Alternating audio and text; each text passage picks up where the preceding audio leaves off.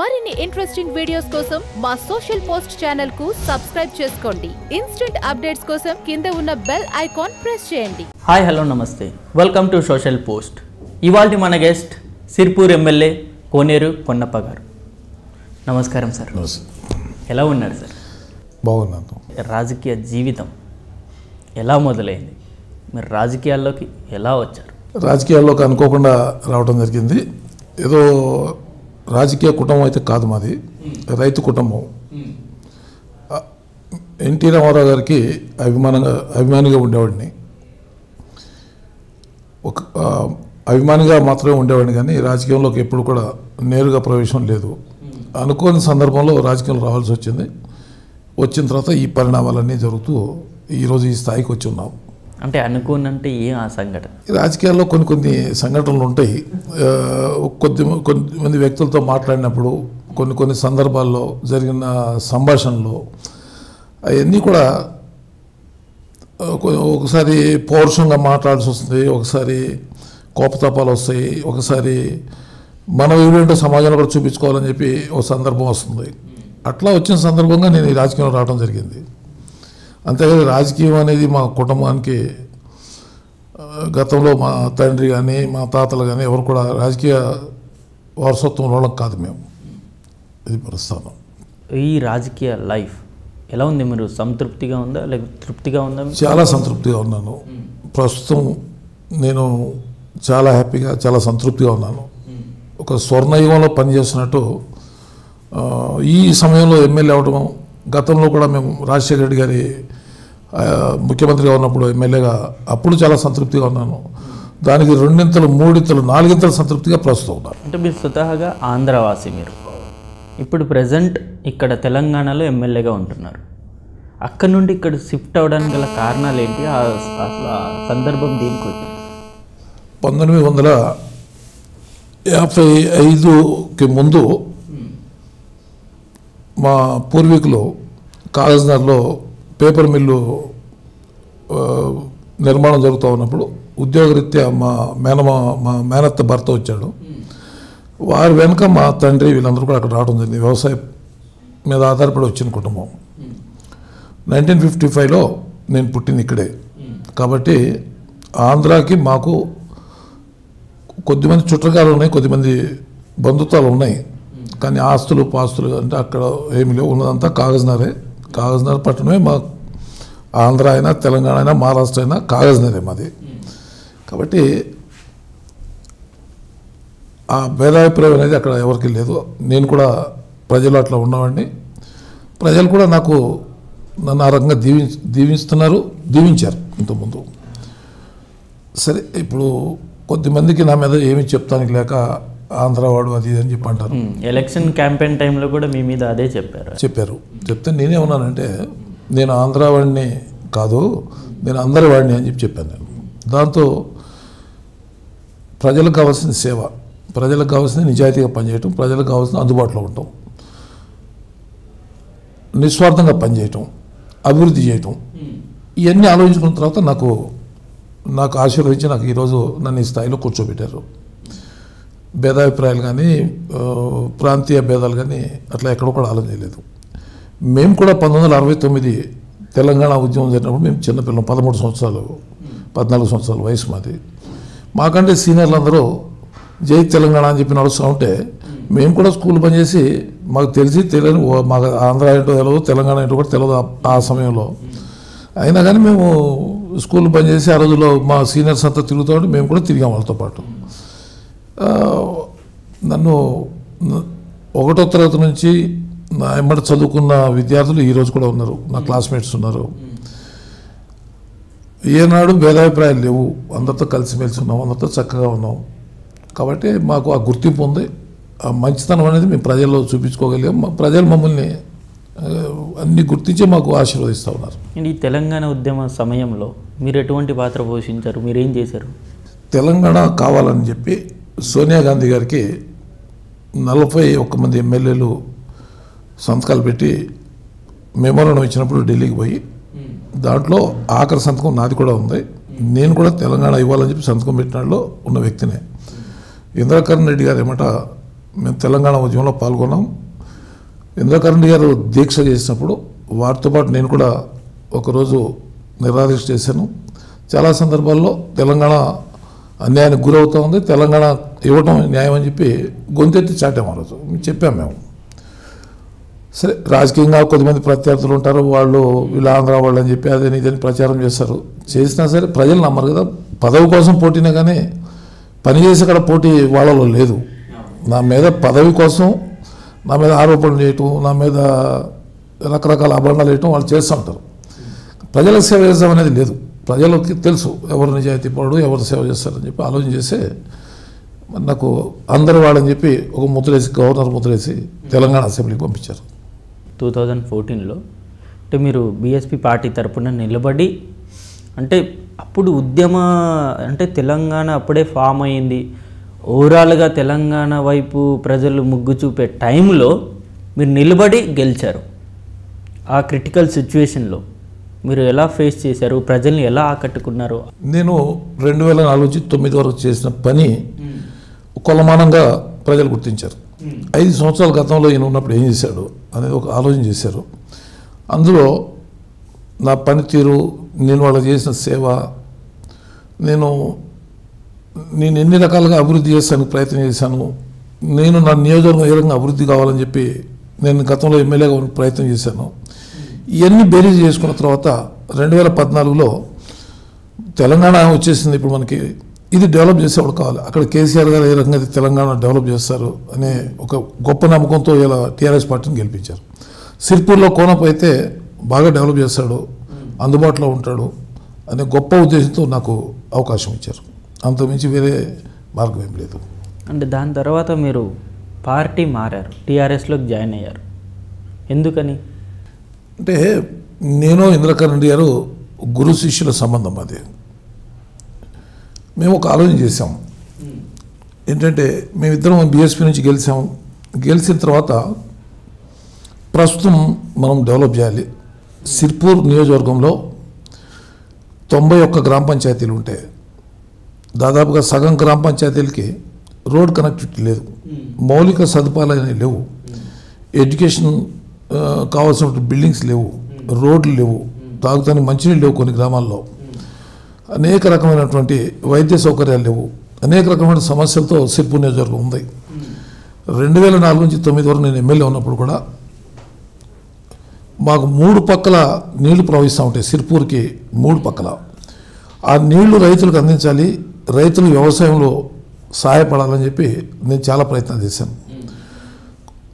మూడు నాలుగు lift irrigation కొత్త వంద కోట్లు నూట ఇరవై ఐదు కోట్లతో శాంక్షన్ ఇచ్చాను అప్పుడు. అవన్నీ కూడా సగంలో ఆగిపోయి ఉన్నాయి. కొమరమేం ప్రాజెక్టు సగంలో ఆగిపోయి ఉంది. ఇవన్నీ కూడా జగన్నాథ్పూర్ ప్రాజెక్టు రెండు వేల ఎనిమిదిలో ప్రారంభం చేసింది పునాది రాయిలోనే ఆగిపోయింది. ఇవన్నీ కూడా పూర్తి కావాలంటే మనం అధికార పార్టీలో ఉండి కేసీఆర్ గారు అభివృద్ధి చేయాలంటున్నారు. మరి మనం అభివృద్ధి కావాలంటున్నాం. ఆ శిల్ప నిజం అభివృద్ధి కావాలి కాబట్టి ఇంద్రకరణ్ గారు మేము సంప్రదింపులు జరిపి టీఆర్ఎస్ పార్టీలో చేరి మనం డెవలప్ చేసుకుందామని చెప్పి చెప్పి ఆ ఉద్దేశంతో చేరాం. ఈరోజు మేము అది సాధించుకోగలిగాం. ఇలా కళ్ళకు కనపడతా ఉంది. ముఖ్యమంత్రి గారు కూడా ఇలా మమ్మల్ని ఆశీర్వదించి సిర్పూర్ డెవలప్ చేయాలని చెప్పి గొప్ప తప్పంతో వారు కూడా ప్రతి సమస్య మీద వెంటనే స్పందిస్తూ ఉన్నారు. ప్రతి సమస్యకి సానుకూలంగా నిధులు కేటాయిస్తూ ఉన్నారు. అక్కడ ఉన్న సమస్యలు వారి దృష్టికి వచ్చిన వెంటనే నిధులు కేటాయిస్తూ ఉన్నారు. మేము ఇవన్నీ సాధించుకోగలిగాం. ఇలా అపోజిషన్లో కూడా మేము చేయాల్సింది ఏం లేదు. అసలు అపోజిషన్ చేయాల్సిన పని లేదు. అన్ని అపోజిషను పొజిషన్ అన్ని కేసీఆర్ గారే చేస్తూ ఉన్నారు. ఇలా ఏ టు జెడ్ సమస్యలు కానీ పరిష్కారం కానీ ఉద్యోగుల సమస్య కానీ రైతుల సమస్య కానీ స్థానిక సమస్యలు కానీ ఇవన్నీ ముఖ్యమంత్రి పరిష్కారం చేస్తూ ఉన్నాడు కాబట్టి మేము కూడా అనుకూలంగా ఉండి ఈరోజు మేము కావాల్సినంత డెవలప్ చేసుకుంటా ఉన్నాం. ఈరోజు కొమ్మరం మేము ప్రాజెక్టు పూర్తి చేసుకోగలిగాం. జగన్నాపూర్ ప్రాజెక్ట్ కూడా పూర్తి అయిపోతూ ఉంది. లిఫ్ట్ ఇరిగేషన్ కూడా పూర్తి చేసాం దాన్ని డెబ్బై శాతం వరకు ఇప్పుడు పనులు పూర్తి అయిపోయినాయి. ఇంకా ఒకటి రెండు లిఫ్ట్ ఇరిగేషన్ పనులు అవ్వాల్సి ఉన్నాయి. రోడ్లు బ్రహ్మాండంగా డెవలప్ అవుతూ ఉన్నాయి. దాదాపుగా నూట ఇరవై ఐదు కిలోమీటర్లు డబుల్ రోడ్లు అవుతూ ఉన్నాయి. ఇంతకుముందు సింగిల్ రోడ్లు గుంతలమయమైన రోడ్లు అటువంటి రోడ్లన్నీ కూడా ఇప్పుడు ఫండ్స్తో డెవలప్ అవుతూ ఉన్నాయి. ప్రజలకు కావాల్సింది అభివృద్ధి. ప్రజలకు కావాల్సిన అభివృద్ధిని మేము ఈరోజు ఈ అధికార పార్టీలో చేరి సాధించగలిగాం. దానికి ప్రజలు కూడా సంతృప్తిగా ఉన్నారు. మేము బీఎస్పీ పార్టీ నుంచి మారేటప్పుడు బీఎస్పీ అధిష్టానాన్ని కూడా మేము తెలియజేసి వచ్చాము మేము. రాత్రి రాత్రి ఏం ఫిరాయింపులు చేయలేదు. ఫిరాయించి మేమేమి అనైతిక చర్యలకు మేము పాల్పడలేదు. మేము బీఎస్పీ అధిష్టానానికి కూడా తెలియజేసి వచ్చాము. ఇట్లా మరి పరిస్థితి ఉంది. మరి మేము కూడా అధికార పార్టీలో పోయి పని చేసుకుంటామని సరే అని చెప్పి వాళ్ళు కూడా ఒప్పుకోవడం జరిగింది. అంటే ఈ పార్టీ మారడం అనేది ఎంతవరకు కరెక్ట్? అంటే ప్రజలు ఒక్క పార్టీని నమ్మి మిమ్మల్ని గెలిపించి బీఎస్పీ తరపున మిమ్మల్ని గెలిపించిన ప్రజలు మీరు సడన్గా మీ డెసిషన్ లేకపోతే కార్యకర్తలతో ఏదో ఒక సమ్ డెసిషన్ తీసుకొని పార్టీ మారడం అనేది మేము చాలామంది ఎమ్మెల్యేలు అలాగే చేస్తారు. అది ఎంతవరకు కరెక్ట్? పార్టీ మారడం అనేది మాకు కూడా కొన్ని సమస్యలు ఉంటాయి. పార్టీల విషయాల్లో కూడా మేము ఆలోచించాల్సి ఉంటుంది. మేము ఇద్దరం శాసనసభ్యులు. బీఎస్పీ నుంచి చేసిన వాళ్ళు ఇద్దరం. మేమిద్దరం పార్టీ మారి మారినంత మాత్రాన ఇక్కడ మీ టీఆర్ఎస్ ప్రభుత్వానికి ఒరిగే జరగబోయే నష్టం ఏం లేదు. మేమిద్దరం పార్టీ మారినంత మాత్రాన టీఆర్ఎస్ పార్టీకి జరిగిన పెద్ద లాభం ఏమి కాదు. పార్టీ అంటే మీరు కూడా ఆలోచించండి. పార్టీ మారి మేమేమన్నా జరగరాని చేయరాని ద్రోహం ఏమైనా చేసామా? చేయరాని తప్పేమైనా చేసామా మేము? అంత పెద్ద తప్పేం మేము చేయలేదు కదా. మేము ఏ పార్టీలో ఉన్నా డెవలప్ చేస్తున్నారు బీఎస్పీ పార్టీలో ఉన్నా డెవలప్ చేస్తున్నారు బీఎస్పీ పార్టీ ఎలా అధికారంలో రాలేదు ఇక్కడ. అధికారంలో లేదు. అయినా మేము బీఎస్పీ పార్టీలోనే ఉన్నాం అనుకోండి మేము ఏం చేస్తాము? సమస్యల మీద నిలదీస్తాము లేకపోతే ఫండ్స్ ఇవ్వకపోతే మన నియోజకవర్గం డెవలప్మెంట్ చేయని అడుగుతాం లేకపోతే ప్రజలకి ఏదైనా నష్టం అవుతుందో మాట్లాడతాం రైతులకి నష్టం జరుగుతుంది ఆ సమస్య లేదు అసలు. ఇప్పుడు ఆ బీఎస్పీ పార్టీలో ఉన్నా టీఆర్ఎస్ పార్టీలో ఉన్నా ఇక్కడ పార్టీ మారినా పార్టీ మారకపోయినా ఇక్కడ ఒరిగిందేమీ లేదు జరిగిందేమీ లేదు. కాబట్టి ఆ పార్టీలోంచి ఈ పార్టీలోకి వచ్చారు ఈ పార్టీ నుంచి ఆ పార్టీలోకి పోయారు అనేది ఇక్కడ అంత అవసరమైన విషయం కాదు. జనరల్గా ప్రతి ఒక్కరు చెప్తున్నట్టు మేము వార్తల్లో కానీ లేకపోతే న్యూస్ పేపర్లో కానీ చూస్తున్నట్టు ఒక పార్టీ ఎమ్మెల్యే మారుతున్నాడంటే కొంత అమౌంట్ అంటే కొన్ని కోట్లు ఇచ్చుంటారు కాబట్టి పార్టీ మారాడనే వాదనలు కూడా ఉన్నాయి. మీకు నిజంగా అంటే టు బి ఫ్రాంక్ స్ట్రైట్ ఫార్వర్డ్గా క్వశ్చన్ అడుగుతున్నాను. మీరు ఎన్ని కోట్లు తీసుకున్నారు? ఎన్ని కోట్లు తీసుకున్నానంటే నా ప్రజల దగ్గర లెక్క ఉంది అంతా నాకు ప్రజలకు తెలుసు. ఒకవేళ నా ఇంట్లో ఎన్ని గిన్నెలు ఉన్నాయో నా ఇంట్లో ఎన్ని పళ్ళాలు ఉన్నాయో నా దగ్గర డబ్బు ఉంటే నేను ఎట్లాంటి వ్యక్తినో ఒకవేళ అట్లా డబ్బు తీసుకుని మారేవాడినా లేకపోతే డబ్బు కోసం అమ్ముడు పోయేవాడినా అది నిర్ణయం చేసేది ప్రజలు. ఈ ఆరోపణలు ఇవన్నీ కూడా నిన్న మొన్న మనం విన్నాం. మీరు అన్నది కూడా కరెక్టే. అక్కడ వంద కోట్లు ఇక్కడ ఇరవై ఐదు కోట్లు పదిహేను కోట్లు నిన్న మొన్న బేరాలు జరిగినాయి అని చూసాం మనం. కాబట్టి మీ అనుమానం నిజమే. ఒకవేళ ప- ఒక రూపాయి డబ్బులు తీసుకుంటే కేసీఆర్ గారిని నేను అభివృద్ధి కోసమే మాట్లాడా. ఫస్ట్ రోజున పార్టీలో చేరినప్పుడు అయ్యా సమస్యలు మీకు తెలుసు. సిర్పూర్ అంటే మీకు కొట్టిన పిండి. అక్కడ ఎటువంటి సమస్యలు ఉన్నాయి? బెజ్జూర్ అనే గ్రామం ఎట్లుంటుందో మీకు బాగా తెలుసు. ఉద్యమం సమయంలో మీరు చాలా తిరిగారు. మేము అభివృద్ధి కోసం ఉన్నాం. మీరు కూడా అభివృద్ధి కోసం ఉన్నారు కాబట్టి మేము కూడా పార్టీలో చేరుతున్నాము. మీరు మాకు ఆశీర్వదించాలి. మాకు డెవలప్ చేయాలని చెప్పి మాట్లాడాం. మీరు ఒకవేళ ఒక్క రూపాయి తీసుకుంటే ఒక్క రూపాయి కేసీఆర్ గారి దగ్గర ఒక రూపాయి పక్కన ఎన్ని సున్నాలు మీరు పెట్టుకున్నా పర్లేదు. ఒకవేళ ఆ సున్నాలు లెక్కేసుకోండి ఒకటి లెక్కేసుకోండి ఎన్నైనా లెక్కేసుకోండి. ఎక్కడ పోయి ఏ ప్రమాణం చేయమని చేస్తాం? ఇంకెక్కడన్నా మీరు ఏ బహిరంగ చర్చకు రమ్మన్నా కూడా నేను అక్కడికి వస్తే తయారున్నా. నా విలువ ఇంత గొప్పగా ఉండేది కాదు. ఒకవేళ నేను డబ్బులు తీసుకుని పార్టీ మాకు డబ్బులు ఇచ్చి పార్టీ మార్చుకోవాల్సిన అగత్యం ఆ కేసీఆర్ గారికి లేదు టీఆర్ఎస్ పార్టీకి లేదు. డబ్బులు ఇచ్చి మమ్మల్ని కొని పార్టీలో చేర్చుకోవాల్సిన అగత్యం ఆయనకి లేదు. డబ్బుల కోసం బేరం ఆడుకుని పోవాల్సిన అగత్యం మాకు లేదు. ఇలా మా విలువ వెయ్యింతలు పెరిగింది ఇలా ఈరోజున కేసీఆర్ గారి నాయకత్వంలో పనిచేస్తూ ఉంటే మా విలువ వెయ్యింతలు పెరిగింది ఇప్పుడు. ఇలా కేసీఆర్ గారు కూడా కష్టపడుతున్నారని చెప్పి వారు కూడా మమ్మల్ని చాలా గొప్పగా గౌరవిస్తూ ఉన్నారు. మీరే అసెంబ్లీలో చూశారు. మా దగ్గర ఉన్న పేపర్ మిల్ ఒకటి మూత పెడితే ఈనాడు మేము దానికోసం ఎంతైతే కష్టపడ్డామో ఆ కష్టపడిన విధానం తీరుని గౌరవ పారిశ్రామిక శాఖ మంత్రులు కేటీఆర్ గారు అసెంబ్లీ సాక్షిగా చెప్పారు. డబ్బులు సంపాదించుకుందామంటే లేకపోతే వేరే వేరే మార్గాలు చాలా ఉన్నాయి. ఈ యొక్క పార్టీలు మారు ఈ రాజకీయంలో సంపాదించుకోవాల్సిన అవసరం లేదు. మా చరిత్ర కూడా ప్రజలు చెప్తారు కదా. ఇప్పుడు ఒక ఇరవై సంవత్సరాల నుంచి సిరిపూర్ నియోజకవర్గం రాజకీయంలో ఉన్నాం. ఓ ఒక వ్యాపారవేత్తో లేకపోతే ఒక రైతో ఎవరైనా ఒక సర్పంచో లేకపోతే ఒక అధికారో మా దగ్గర ఈ ఇన్ని డబ్బులు తీసుకున్నాడు అని చెప్పి ఈ చర్చ అవుతుంది. డబ్బులు మాకు ఇస్తే రాత్రిపూట ఇంటికాడ ఇవ్వచ్చు లేకపోతే దొంగతనంగా మేము హైదరాబాద్ తీసుకోవచ్చు. కానీ ఈ డబ్బులు ఇచ్చిన వాళ్ళు ఇవాళ ఆరు నెలలకో మూడు నెలలకో ఒక చెప్ నా దగ్గర నేను డబ్బులు తీసుకుని నాకు పని చేసి పెట్టాను ఎక్కడో చర్చ చేస్తాను మీరు మొత్తం తిరిగి ఎంక్వైరీ చేయండి. చేసినాక ఈయన మాకు ఇంత కరెక్టివ్ అని చెప్పి వాళ్ళు చెప్తే అప్పుడు నేను ఒప్పుకుంటాను నేను మా మా నిజాయితీ ఏందో మా చిత్తశుద్ధి ఏందో ప్రజలకు తెలుసు. కేవలం అభివృద్ధి కోసమే టీఆర్ఎస్లో జాయిన్ అయ్యారు. జాయిన్ అయినా చేస్తూనే ఉన్నాం అభివృద్ధి కూడా చేస్తూనే ఉన్నాం. ఈరోజు అభివృద్ధి చేసి చూపిస్తూ ఉన్నాం. ఇలా బెజ్జూర్ లాంటి మారుమూల ప్రాంతంలో ముఖ్యమంత్రి గారి ఆశీర్వాదంతో ముఖ్యమంత్రి గారి ఆలోచనల మేరకు ఈరోజు మేము ముప్పై పడకల ఆసుపత్రి కట్టిస్తూ ఉన్నాం. ఇంతకంటే గొప్ప నిదర్శనం ఇంకేం లేదు. ఇవాళ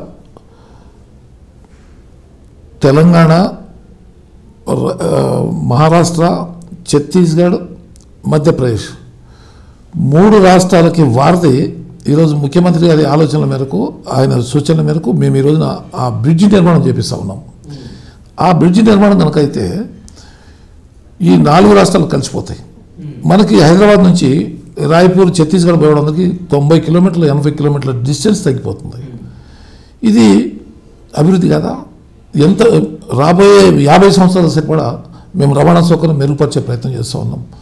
ఇది మా చరిత్రలో మిగిలిపోయే పనులు చేస్తూ ఉన్నాం. ఈరోజు జరుగుతున్న పనులన్నీ కూడా చరిత్రలో మిగిలిపోయే పనులు చేస్తూ ఉన్నాం మేము. పెంచుకెళ్ళపేట నుంచి ఆ, వేమన్పల్లి పోయే రహదారి మీద ఈరోజు ముప్పై కోట్లతో బ్రిడ్జ్ కట్టిస్తూ ఉన్నాం. దానివల్ల దాదాపు అరవై డెబ్బై కిలోమీటర్ల కనెక్టివిటీ అవుతూ ఉంది. ఇట్లాంటి కార్యక్రమాలు ఆ సిర్పూర్ నియోజకవర్గంలో ఈరోజు ఒక వంద కార్యక్రమాలు జరుగుతూ ఉన్నాయి. మైనార్టీ రెసిడెన్షియల్ మాకు రెండు ఇచ్చారు ముఖ్యమంత్రి గారు. ఇటువంటి ప్రత్యేకమైనటువంటి పరిస్థితులు అక్కడ ఉన్నాయి. అటువంటి ఆ దిశగా అభివృద్ధి చేస్తాను కూడా ముఖ్యమంత్రి గారు మా జిల్లా మంత్రులు ప్రత్యేకంగా మా జిల్లా ఇద్దరు మంత్రులు కూడా మాకు పూర్తిగా సహకరించి ఈరోజు అభివృద్ధిగా తీసుకుపోతూ ఉన్నాం. కాబట్టి మేము అభివృద్ధి చేస్తున్నాం అనేది రేపు రెండు వేల పంతొమ్మిదిలో జరగబోయే ఎన్నికల్లో మేము అవినీతి పరుడమా నీతి పరుడమా అమ్ముడుపోయినామా అభివృద్ధి చేసామా చేయలేదా ప్రజలతో ఉన్నామా లేదా అందుబాటులో ఉన్నామా లేదా ఇవన్నీ క్వశ్చన్ రేపు రేపు పంతొమ్మిది రెండు వేల పంతొమ్మిదిలో జరగబోయే ఎన్నికలకు వచ్చే రిజల్టే మేము చేసిన పనికి గుర్తింపు వస్తుంది. మీరు ప్రజల్లో ఎక్కువగా అంటే నేను మీ ముందు రాకముందు నేను చాలా రీసెర్చ్ చేసిన దాంట్లో ప్రజలతో చాలా మమేకమై ఉంటారు మీరు. ప్రజల్లో మనిషి అని సిర్పూర్లో చాలామంది చెప్తూ ఉంటారు. అంత కనెక్టెడ్గా ఉండడానికి అంత క్లోజ్గా ఉండడానికి ఏంటి కారణం ఏంటి అసలు? కష్టాలు సుఖాలు చూస్తున్నాము కష్టాల నుంచి వచ్చిన వాళ్ళం. నేను కూడా రెండు రూపాయలకి రాడ్ బెండింగ్ చేశాను కూలి పని చేశాను. ఆ స్థాయి నుంచి ఈ స్థాయికి వచ్చాము కష్టం ఏంటో తెలిసిన వాళ్ళం. ఒక మనిషి ఆపదలో ఉన్నాడంటే అతని పరిస్థితి ఏంటి అర్థం చేసుకునేవాళ్ళం మా జేబులో ఉన్నా లేకపోయినా మా కార్యకర్త కానీ మా ప్రజలు కానీ మా దృష్టికి వచ్చినాయి. వెంటనే స్పందిస్తాం. వాళ్ళతో వాళ్ళ కుటుంబంలో సభ్యుడిలాగా మేము మా కుటుంబంలో సభ్యుడిలాగా అతను భావిస్తాం. వాళ్ళు కూడా ఏదైనా ఇబ్బంది వచ్చిందంటే ముందు నాకు ఫోన్ చేస్తారు. నా మీద ఉన్న నమ్మకం అటువంటిది. మమ్మల్ని ఆదుకుంటాడు అనేది ఒక నమ్మకం అనేది ప్రజల్లో కలిగింది. వాళ్ళకి ఏ రాత్రి పన్నెండు గంటలకు అవసరం వచ్చినా సరే వాళ్ళు ఇల్లు కాలుతా ఉన్నా ఫైర్ ఇంజన్కి ఒకళ్ళు ఫోన్ చేస్తే ఎమ్మెల్యేకి ఒకళ్ళు ఫోన్ చేస్తారు. నేను కూడా వెంటనే ఆ రాత్రి బయలుదేరి వాళ్ళకి కావాల్సినటువంటి సహాయ సహకారాలు అందిస్తూ ఉంటాను నేను ఒకవేళ లేకపోయినా నా కుటుంబంలో ఎవరైనా ఒకళ్ళు వెళ్తారు. తప్పనిసరిగా మా కుటుంబ సభ్యులైనా వాళ్ళు ఆదుకుంటారు. కాబట్టి ఈ రకంగా వాళ్ళు ఒక కుటుంబ సభ్యుడిగా నన్ను భావిస్తారు. మాకు కోనప్ప గారు ఉన్నాడని చెప్పి ఒక గొప్ప నమ్మకంతో నా మీద భరోసాతో ఉంటారు వాళ్ళు. ఇది నేను నేను నమ్మకం కలిగించగలిగాను వాళ్ళకి. నేను ఈ రకంగా పని చేస్తాను. నేను చేసే పని పనే నాకు ఆ నమ్మకం కల్పించేలాగా నన్ను ఈ స్థాయికి తీసుకొచ్చింది. ప్రజల్లో అంత గొప్ప నమ్మకం నేను రాత్రి పన్నెండు గంటలకు ఫోన్ చేసిన ఎమ్మెల్యే గారు మాట్లాడతారనేది ఒక గొప్ప నమ్మకం నేను వాళ్ళకు కల్పించగలిగాను. నేను అట్లా వ్యవహరించాను కాబట్టి ఈరోజు వాళ్ళు నన్ను నమ్ముతున్నారు వాళ్ళు. అదే నేను చేయగలిగిన అని మీరు రీసెంట్గా నూట ముప్పై మూడు మందికి ముప్పై ఒకటి. ముప్పై ఒక మందికి పెళ్ళిళ్ళు చేశారు. దీనికోసం? అంటే రాజకీయ లబ్ధి కోసమా లేకపోతే తృప్తి కోసమా? మేము రాజకీయ నాయకులు. మేము ఏం చేసినా అందరూ చూసే రాజకీయ కోణంలో చూస్తారు. మీరు కూడా ఎమ్మెల్యే గారు ఈ పని చేశాడంటే రేపు ఓట్ల కోసం చేశాడనే ఒక భావన మీలో కూడా బాగా వచ్చేసింది. నేనేమంటానంటే మేము పేదవాళ్ళకి ఏదైనా ఆపదలు ఉంటే గతం నుంచి కూడా పెళ్ళిళ్ళకి దానికి దీనికి మా చేతనంత సాయం చేస్తూ వచ్చాం. నేను ఎమ్మెల్యే చేసేటప్పటికి ఇది పెద్ద పబ్లిసిటీ అయిపోయి ప్రజల్లో చర్చకు వచ్చేస్తుంది ఒక నూట ముప్పై మంది పెళ్ళి చేసాము పది పదిహేను వేల మంది వచ్చారు. అందరూ ఆశీర్వదించారు అందరూ ఎమ్మెల్యే గారి పని బాగుందని చెప్పి చెప్పారు. కాబట్టి వీళ్ళందరూ ఎమ్మెల్యే గారికి ఓటేస్తారని చెప్పేసి అనుకోవడం కూడా ఒక ఈ చర్చ ఇప్పుడు ఇది మామూలుగా ఇప్పుడు జరుగుతున్న సమాజంలో జరుగుతున్న సమాజంలో ఇది ఒక చర్చ. మేము. చేసే మంచి పని ప్రతి ఒక్కదానికి ప్రజల ఆశీర్వాదం ఉంటుంది. అది ఓట్ల రూపంలో కూడా కొంత వస్తుంది మాకు. కేవలం ఓట్ల కోసమే పెళ్ళిళ్ళు చేయటం అనేది కాదు. మన మానవత్వంగా మంచిగా నేను చేసిన ప- చేయగలిగిన పని చేశాను. ఒక పేద బిడ్డలకి పెళ్ళి చేశాను నేను. నేను అడుగుతే ఎంతోమంది దాతలు ముందుకు వచ్చి నాకు సాయం చేశారు. హైదరాబాద్లో ప్రభాకర్ రెడ్డి గారు అని ఉన్నారు. మంచి పెద్ద వ్యాపారవేత్త పెద్ద చక్కటి హృదయం గొప్ప హృదయం గల మనిషి. వారి దగ్గరికి వెళ్ళి సార్ ఇట్లా పెళ్ళిళ్ళు చేద్దాం అనుకుంటున్నాను పేద బిడ్డలకి మీరు సాయం చేయండి అంటే తాలిబొట్లు నిస్సాం కొనప్ప గారు మీరు ఇచ్చేయండి వాళ్ళకని చెప్పి చెప్పి ఆరున్నర లక్షల రూపాయలు సాయం చేసి నాకు తాలిబొట్టు ఇచ్చారు. ఇంకొక దాత వచ్చి కొంత సాయం చేశారు. ఇంకో దాత వచ్చి కొంత సాయం చేశారు. ఇట్లా నేను చేసే పనికి చాలామంది నాకు సాయం చేస్తారు. నా నేను అడుగుతూ ఇంతమంది సాయం చేసేవాళ్ళు ఉన్నప్పుడు నేను ఇటువంటి పని చేస్తే ప్రజలకు మేలు చేసినట్టు అవుతుంది కదా. ఇది ఒక చరిత్రలో మిగిలిపోయే పనులు అని ఓట్లు రేపు వస్తాయి గెలుస్తాం ఓడిపోతాం చరిత్ర జరుగుతూనే ఉంటుంది. ఇప్పుడు రెండుసార్లు నిలబడ్డాం నాలుగు సార్లు నిలబడ్డాం రెండు సార్లు ఓడిపోయాం రెండు సార్లు గెలిచాం. రేపు కూడా గెలుస్తాం ఓడిపోతాం ఇవన్నీ ప్రజల దయా ప్రజల ఆశీస్సులు. నేను ఏమంటున్నా అంటే ఈ పెళ్ళిళ్ళు చేయడం అనేది రాజకీయం కోసం చేసిన కాదు. చేయాల్సిన ధర్మం నా మీద ఉంది. మీ మీద కూడా ఉంది. సమాజంలో ఎవరైతే కాస్త నిలదొక్కున్న వాళ్ళు ఉన్నామో కాస్త జేబులో కొంచెం పర్వాలేదు అనుకున్న వాళ్ళు మనందరి ధర్మం ఇది. మనం సాటి మానవులకి మనం సాయం చేద్దామనే ఒక తపన కనుక ఉంటే ఇటువంటి పెళ్ళిళ్ళు ప్రతి ఒక్కళ్ళు చాలామంది చేస్తారు. నేను ఒక్కనే కాదు. చాలామంది చేస్తూనే ఉన్నారు. చరిత్రలో చాలామంది ఎందుకంటే నాకంటే జనార్దన్ రెడ్డి గారు రెండు వందల మందికి పెళ్ళి చేశారు. ఇంకా చాలామంది పరిటాల రవి గారు ఉండేవారు. ఆయన కొన్ని వందల మందికి పెళ్ళి చేశారు. ఇది ఒక మానవ ధర్మం ఇది. తన పరిధిలో ఉన్న వాళ్ళకి సాయం చేయడం అనేది ఒక ఆలోచన. ఆలోచన చేశాను. పెళ్ళిళ్ళు అంటున్నారు మీరు. నేను ఇది మొన్న ఒకసారి చేయలేదు కదా. నేను ఓడిపోయినప్పుడు కూడా చేశాను. నేను రాజకీయంలో ఓడిపోయినప్పుడు కూడా చేశాను. నా మా కూతురు వివాహం జరిగితే మా అమ్మాయి ఏదైతే ఏ- మా అమ్మాయికి ఏ రకంగా అయితే పెళ్ళి చేశానో అదే స్టేజ్ మీద ఇంకా ఇరవై ఒక్క మంది హరిజన గిరిజన బిడ్డలను కూర్చోబెట్టి నా శక్తి మేరకు వాళ్ళు పెళ్ళి చేశాను నేను. ఆ పెళ్ళి చేసుకున్న పిల్లల్ని అడిగితే చెప్తారు నేను ఎంతవరకు వాళ్ళ సాయం చేయగలిగాను? ఎంత గౌరవంగా వాళ్ళు పెళ్ళి చేసినాను? నా బిడ్డకి ఏ రంగం అయితే పెళ్ళైందో ఆ బిడ్డలు కూడా ఆ రకంగా పెళ్ళి చేశాను ఇది ఎందుకు చేశానని చెప్పి మీరు అడగవచ్చు. ఎమ్మెల్యే అంటే మావాడే మా మా తోటోడే మా అంతటోడే మాకంటే గొప్పోడు కాదు ఎమ్మెల్యే అనే భావన ప్రజలు రావాలని చెప్పి చేశాను. ఎమ్మెల్యే అంటే ఎమ్మెల్యేకి రెండు పళ్ళు ఇవి ఇట్లా రెండు కనపడతాయి ఇట్లా రెండు కనపడతాయి. ఇవాళ ఎక్కువ మందికి ఇట్లా కనపడుతుంది. కానీ ఆ ప్రజలకి వాళ్ళే కదా నాకు అవకాశం ఇచ్చింది. నేను మామూలు చిన్న రైతుని చిన్న కూలీని నాకు ఎమ్మెల్యే చేశారు వాళ్ళు. వాళ్ళ పిల్లలు నా పిల్లలు సమానం అని చెప్పి చూపించాలని చెప్పి నేను నాకు పెళ్ళి చేశాను. మా అబ్బాయి పెళ్ళి చేస్తే ఇరవై రెండు మంది పిల్లలు పెళ్ళి చేశాను పదహారు మంది హిందువులు చేశాను ఆరుగురు ముస్లిం చేశాను. ఒకటే కళ్యాణ మండపం పెద్ద కళ్యాణ మండపంలో. నేను అంగరంగ వైభవంగా ఏం చేయలేదు. సాదా సీదాగా చేశాను. ఖర్చు కూడా పెట్టలేదు. విందు భోజనాలు కూడా నేను ఏమీ ఖర్చు పెట్టలేదు. విందు భోజనాలు కూడా నేను పెట్టింది. ఒక కూర ఒక పప్పుచారు ఒక పచ్చడి ఒక పెరుగు ఒక అరటిపండు పెట్టి పంపించాను. సాదా సీదాగా చేసి పంపించాను. ప్రజల్లో నేను ఒకడిని ప్రజలు కూడా అనుకోవాలి ఎమ్మెల్యే అంటే గొప్పోడేం కాదు మా తోటోడనే రావాలని నాకు కార్యక్రమాలు చేశాను. ఏ పేదవాళ్ళు నాకు వచ్చినా వాళ్ళకి సాయం చేసి పెళ్ళిళ్ళు ఉన్నాయంటే వాళ్ళకి వీళ్ళంతా సాయం చేసి వాళ్ళకి కేసీఆర్ గారు లక్ష రూపాయలు ఇస్తున్నారు కాబట్టి ఇక మా దగ్గరికి ఎవరు రావట్లే ఇప్పుడు. మా దగ్గరికి ఎవరు రావట్లే ఇప్పుడు. ఎవరన్నా వచ్చినప్పుడు మేము కొత్త బట్టలు పెట్టి పిల్ల పిల్లలకు బట్టలు పెట్టి వాళ్ళని ఆశీర్వదించి చల్లగా ఉండని చెప్పి దీవెనిస్తూ ఉంటాం.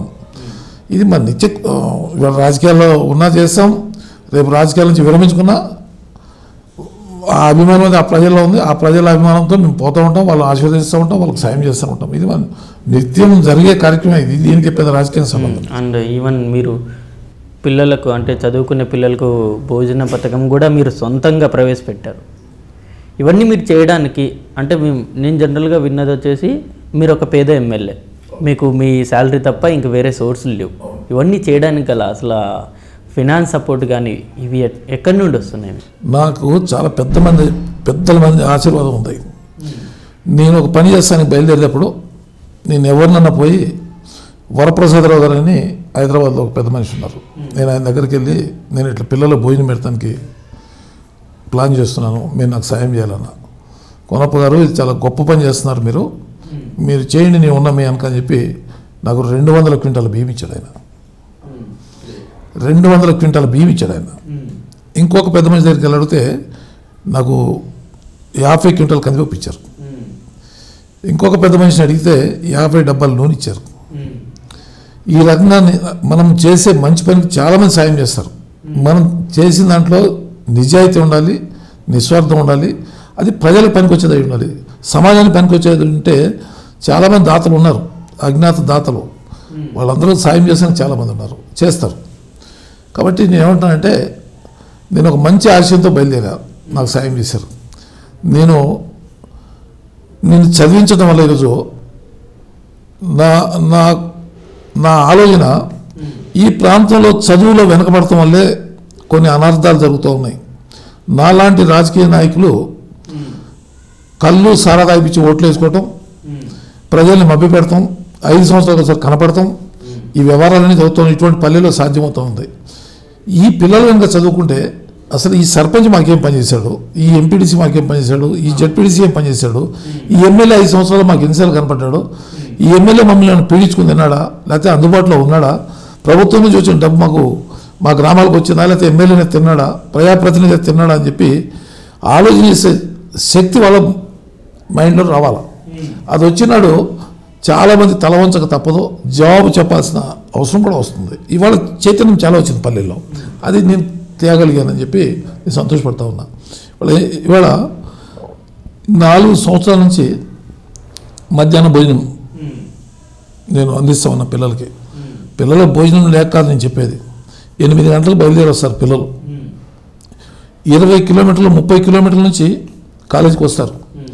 కాలేజీకి వచ్చిన తర్వాత బహు కష్టంగా ఒంటి గంట వరకు వాళ్ళు సార్ లెక్చర్లు చెప్పేది వినగలుగుతారు. దాని తర్వాత వాళ్ళకి ఆకలి స్టార్ట్ అవుతుంది. మైండ్ ఎప్పుడు ఇంటికి పోదామా ఎప్పుడు తిందామా అనేది దృష్టిలో పోతుంది కానీ చదువు మీద పోదు. నేను ఒక సందర్భంలో అనుకోని సందర్భంలో కాలేజీలో ఓ ఇద్దరు పిల్లలు సులోదయ పడిపోవడం చూసి అప్పుడు దానికి కారణం ఏంటని తెలుసుకుని మనం ఈ భోజనం పెడితే బాగుంటుందని చెప్పి ఒక నెల రోజులు పెట్టి చూసా. మంచి రిజల్ట్స్ వచ్చినాయి. దాని తర్వాత నెక్స్ట్ ఇయర్ ఏం చేసినాం? నా నియోజకవర్గంలో ఐదు కాలేజీలు ఉన్నాయి. ఐదు కాలేజీల్లో పద్దెనిమిది వందల మంది పిల్లలు ఉన్నారు. మూడు నెలల పాటు నేను వాళ్ళందరూ భోజనం పెట్టి మంచిగా దగ్గరుండి శ్రద్ధగా పిల్లల్ని చదివించి ఏర్పాటు చేశాం. ఇది చేయటం వల్ల మంచి result ninety two percent pass అయ్యారు. ఇది దీని తర్వాత ఈ సంవత్సరం నాలుగు నెలల పాటు నేను భోజనం పెట్టి చదివించాను పిల్లల్ని. మంచి నాణ్యమైన చదువు పిల్లలు కూడా బాగా చక్కగా చదువుకుని లెక్చరర్స్ కూడా చాలా కష్టపడ్డారు. మనం ఒక పేరు తెచ్చుకోవాలని చెప్పి చెప్పి. లెక్చర్స్ చేసిన కష్టం పిల్లల శ్రద్ధ నేను చేసిన సహాయం. ఈ మూడు కలిసి ఈరోజు తెలంగాణ రాష్ట్రంలో కొమరంభీం జిల్లా ఇంటర్మీడియట్ విద్యలో మొట్టమొదటి స్థానం సంపాదించుకోగలిగాం. ఇది అలా నేను గర్వంగా నేను ఇలా ఫీల్ అవుతా ఉన్నా. నేను ప్రతి మీటింగ్లో చెప్పాను విద్యార్థులకి. మీరందరూ పాస్ అయితే మీ తల్లిదండ్రులు సంతోషపడతారు. తర్వాత మీ జీవితాలు బాగుపడతాయి. మిమ్మల్ని చదివించిన ఉపాధ్యాయులు లెక్చర్స్ సంతోషపడతారు. తర్వాత సంతోషపడేది నేను. కానీ ఇవాళ ఆ- ఆ స్థానం నాకు దొరికింది ఇవాళ. కొమరంభీం జిల్లా ఆసిఫాబాద్ జిల్లాలో ఇలా మొట్టమొదటి స్థానం తెలంగాణ రాష్ట్రంలో వచ్చిందంటే విద్యాశాఖ మంత్రి గారు కూడా మమ్మల్ని అభినందించారు. ఇది మేము సాధించిన గొప్ప ఘన విజయం. ఎవరు ఎన్ని రాజకీయాలు మాట్లాడినా అన్నం పెడితే ఓట్లు వస్తాయని లేకపోతే ఏదో మాట్లాడతారు కదా. ఇది తెలివి ఉన్నాడు. ఆలయ పనుడు కనుక ఉంటే ఈ ఒక్క ఉదాహరణ చాలు నేను చేసిన కృషికి నేను ఎక్కడ ఉన్నా ఎక్కడ ఉన్నా మాట్లాడే వాళ్ళకి ఇది ఒక్కటే చాలు. ఇది ఒక్కటే కాకుండా ఒక ఇంటర్మీడియట్ విద్యార్థులే కాకుండా డిజిటల్ టీవీతో ఒకటో తరగతి నుంచి ఆరో తరగతి వరకు పిల్లలకు నేను విద్యా బోధన చేపిస్తా ఉన్నా ఈరోజు ఇది ఎక్కడ లేదు మన రాష్ట్రంలో. ఒక ఎన్ఆర్ఐ ఫౌండేషన్ ఖమ్మం వారు నేలకొండపల్లి ఆ ప్రాంతంలో కొంత ఈ విద్యను ప్రోత్సహిస్తూ వాళ్ళు కొంత అక్కడ ఇటువంటి కార్యక్రమాలు చేపట్టారు. నాకు తెలిసిన వాళ్ళని అప్రోచ్ అయితే వాళ్ళు కూడా ముందుకు వచ్చి నాకు కూడా సాయం చేశారు. నాలుగున్నర లక్షల రూపాయలు వాళ్ళు సాయం చేశారు. నాలుగున్నర లక్షల రూపాయలు నేను వేరే దాతల దగ్గర నుంచి సాయం అందుకుని ఇవాళ యాభై రెండు స్కూల్స్లో నేను టీవీలు పెట్టించాను. ఒకటో తరగతి నుంచి ఆరో తరగతి వరకు ఐదో తరగతి వరకు ఈరోజు ప్రాథమిక విద్య ఆ, ఈరోజు చక్కగా పిల్లలకి డిజిటల్ టీవీ ద్వారా నేను అందిస్తా ఉన్నా. దీంతో పిల్లలు కూడా క్రమం క్రమం తప్పకుండా బడికి వస్తూ ఉన్నారు. సమయానికి వస్తూ ఉన్నారు. హాజరు శాతం పెరిగింది. రేపు ఇంకా డెబ్బై నాలుగు స్కూల్స్ ఇంకా మిగిలినాయి నా నియోజకవర్గంలో. రేపు జూలై ఫస్ట్ వరకు ఆ డెబ్బై నాలుగు స్కూల్లో కూడా ఈ డిజిటల్ విద్య ద్వారా పిల్లలు చదువు నేర్పించే ప్రయత్నం చేస్తూ ఉన్నా. మరి ఆ చిన్న పిల్లలు ఒకటో తరగతి నుంచి ఐదో తరగతి పిల్లలు నాకు ఓట్లేస్తారా? మీరు చెప్పండి. మీరు మాట్లాడే వాళ్ళు చాలా మాట్లాడతారు. వాళ్ళు నాకు ఓట్లు వేస్తారా సిర్పూర్ నియోజకవర్గమే కాదు తూర్పు ప్రాంతం మొత్తం చాలా చలి ఉంటుంది. చలికాలం పూట విపరీతమైన చలి ఉంటుంది. నాలుగు డిగ్రీల చలి ఉంటుంది. హాస్టల్లో పిల్లలు ఎట్లా ఉంటారు? అద్దాలు పగిలిపోయి తలుపులు సందులోంచి గాలి వచ్చి ఇబ్బందికర పరిస్థితులు ఉంటారు. ప్రభుత్వం చాలా చేస్తూ ఉంది. అప్పుడు ఉన్న పరిస్థితుల్లో రెండు వేల పద్నాలుగు నాటి పరిస్థితిలో ఒక దుప్పటి ఒక పక్క దుప్పటి దీంతో విద్యార్థులు కొంత ఇబ్బందిగా ఉంటారు మనమైతే మన పిల్లలకి ఇంట్లో రెండు రగ్గులు కప్తాం చలి పుట్టకుండా చెవులు కలుపుతాం ఇవన్నీ చేస్తాం. మేము ఆలోచన చేసి మా గౌరవ మంత్రి గారు కేటీఆర్ గారి సాయం అడిగి నాలుగు వేల ఐదు వందల విలియన్ రగ్గులు తీసుకుని నేను అన్ని హాస్టల్లో ఇరవై తొమ్మిది హాస్టల్స్లో గిరిజన బిడ్డలకి హరిజన బిడ్డలకి అందరు కూడా ఈ విలన్ రగ్గులు రెండో రగ్గు కూడా ఇచ్చి వాళ్ళ చలి బారిన పడకుండా కాపాడాను నేను. ఆ రోజు నుంచి ఈ రోజు వరకు ఈ నాలుగు సంవత్సరాల్లో ఎవరెవరైతే కొత్తగా పిల్లలు మళ్ళీ వస్తూ ఉంటారో ఆ హాస్టల్స్కి వాళ్ళందరికీ మళ్ళీ ఒక్కొక్క దుప్పటి అందిస్తూ దాదాపు పదివేల రఘువులు ఈ రోజు వరకు నేను ఇచ్చాను పిల్లలకి. వాళ్ళందరూ నాకు ఓట్లు వేస్తారా? మానవత్వం అనేది మేము చూపించాము అంతేగాని ఓట్లు చూపించలేదు. వాళ్ళ తల్లిదండ్రులే కదా నన్ను ఈ స్థాయి కూర్చోబెట్టింది. వాళ్ళ తల్లిదండ్రులే నన్ను ఈ స్థాయికి తీసుకొచ్చారు. వాళ్ళ ఆశీర్వాదంతో నేను ఇక్కడికి వచ్చాను. వాళ్ళ బిడ్డలకు సేవ చేయడం నా లక్ష్యం. వాళ్ళ బిడ్డలకు నేను చేయాలి కదా నేనేమి డబ్బులు ఇచ్చి ఓట్లు ఎంచుకోలేదు. వాళ్ళేమి నాకు నిస్వార్థంగా ఓట్లేశారు నాతో అయినంత సేవ చేస్తా ఉన్నాను. ఇది ఇది ఇదంతా చేసుకుంటేనే నా నియోజకవర్గంలో ముప్పై శాతం నలభై శాతాన్ని మించి ఇంగ్లీష్ సబ్జెక్టులో పాస్ అవ్వట్లేదు పిల్లలు. నేను విద్యావంతులతో కూర్చొని చర్చ చేసినప్పుడు దీన్ని ఎట్లా మనం అధిగమించాలని చెప్పి ఆలోచన చేస్తే స్పోకెన్ ఇంగ్లీష్ బుక్స్ ప్రవేశపెట్టాను. ఫస్ట్ మొదటి సంవత్సరం పదవ తరగతి intermediate first year intermediate second ఇయర్కి ఐదు వేల ఐదు వందల పుస్తకాలు పంపిణీ చేశాం. రెండో సంవత్సరం ఆలోచించాం.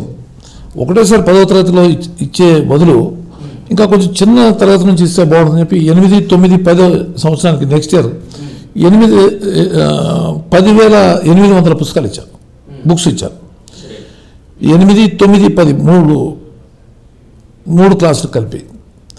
ఆ రకంగా ఇచ్చి పిల్లల్ని ప్రోత్సహించాం. తర్వాత ఈ సంవత్సరం పెద్దలు గౌరవనీయులు భాస్కర్ రావు గారు అని చెప్పి హైదరాబాద్లో ఉంటారు. Kaveri Bhaskar Rao sheets company owner అధిపతి గారు. వారి చెయ్యి చల్లకుండా వారి కడుపు చల్లకుండా మా పిల్లల కోసం మాకు ఎనిమిది వేల బుక్స్ ఈ సంవత్సరం నేను పంపిణీ చేస్తే దానికి ఆరు వేల ఆరు లక్షల రూపాయలు ఆర్థిక సాయం చేసి వారు ఇవాళ ఈ బుక్స్ అని నాకు అందించారు. నా నియోజకవర్గ పిల్లలందరికీ ఇచ్చాను. నేను ఈ పని చేస్తాను బయలుదేరితే ఎవరో ఒక దాత వచ్చి ఇస్తారు మనం ముందు పని చేయాలి కదా. వారు ఇచ్చిన డబ్బులు తీసుకుని సాల్వ్ చేస్తారంటే ఎవరు ఎవరు? మనం బుక్స్ పంపిణీ చేస్తున్నాం కాబట్టి వారు ఇచ్చారో అది తీసుకొని ప్రజలకు అందించాను ఈ రకంగా ఇవాళ పదమూడు స్కూల్స్లో వందకు వంద శాతం ఇంగ్లీష్ సబ్జెక్ట్లో పాస్ అయ్యారు పిల్లలు. తొంభై శాతం ఇరవై స్కూల్స్లో పాస్ అయ్యారు. ఎనభై శాతం పైన తత్మా స్కూల్స్లో పాస్ అయ్యారు. ఇవాళ ఇంగ్లీష్ సబ్జెక్ట్లో నేను ఈ స్థాయికి తీసుకురాగలిగే పిల్లల్ని ఇంకొక రెండు మూడు సంవత్సరాల లోపల నా నియోజకవర్గంలో పిల్లలందరూ కూడా ఇంగ్లీష్లో పర్ఫెక్ట్ అడుగు ముందుకేస్తారు ఇది చేయగలిగాను నేను. స్పోకెన్ ఇంగ్లీష్ బుక్స్ ఇస్తే ఇరవై నాలుగు వేల ఐదు వందల బుక్స్ ఈ సంవత్సరం నేను ఇచ్చాను నేను ఇప్పటికీ. మరి ఇవన్నీ విద్య అభివృద్ధి కోసం చేశారు. ఈ ప్రాంతంలో పిల్లలు చదువుకోవాలని చెప్పి చేశారు.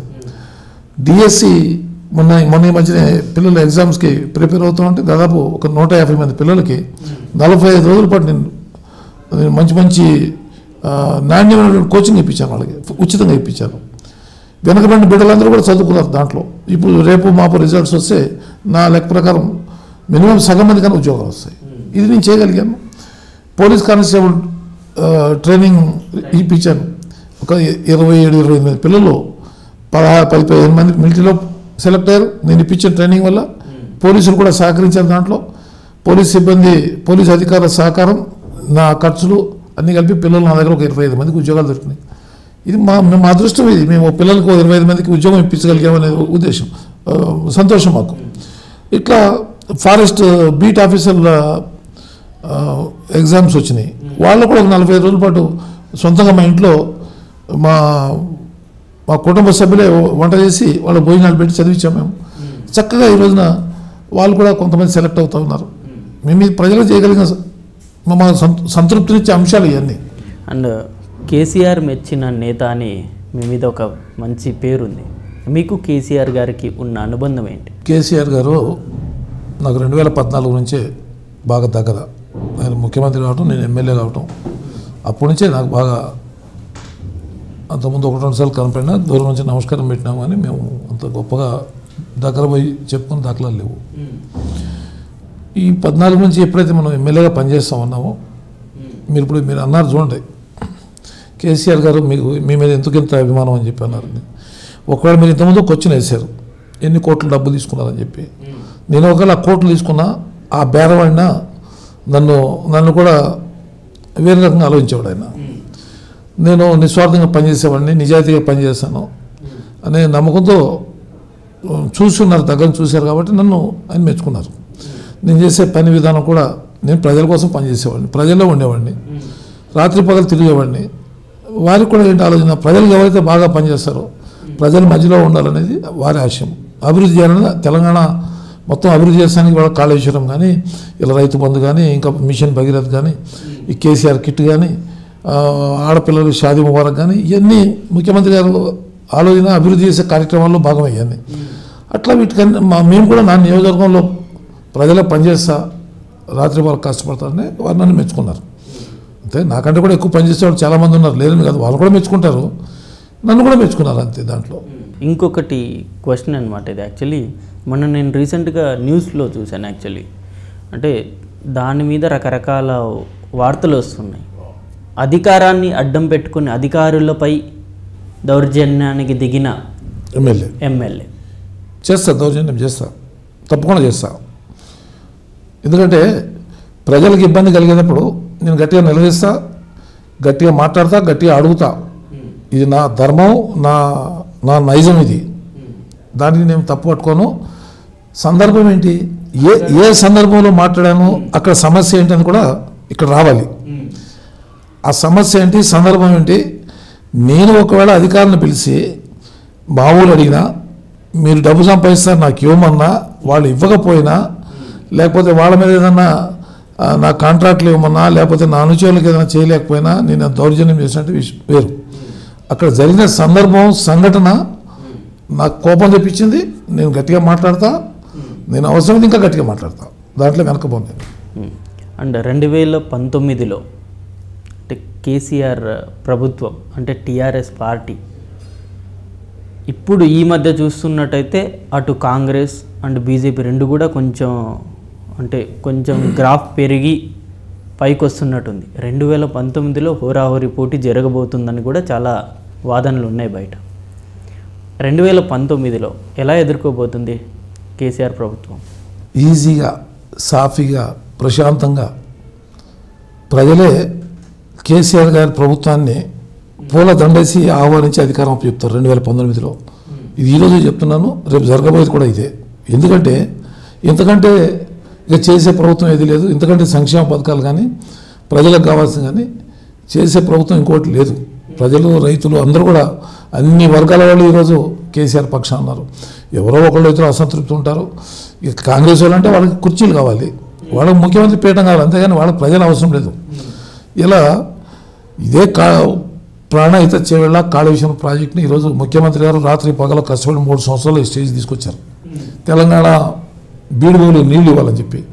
ఇదే కాంగ్రెస్ రాజశేఖర రెడ్డి గారి తదనంతరం ఐదు సంవత్సరాల కాలం నిలబడి చూశారు.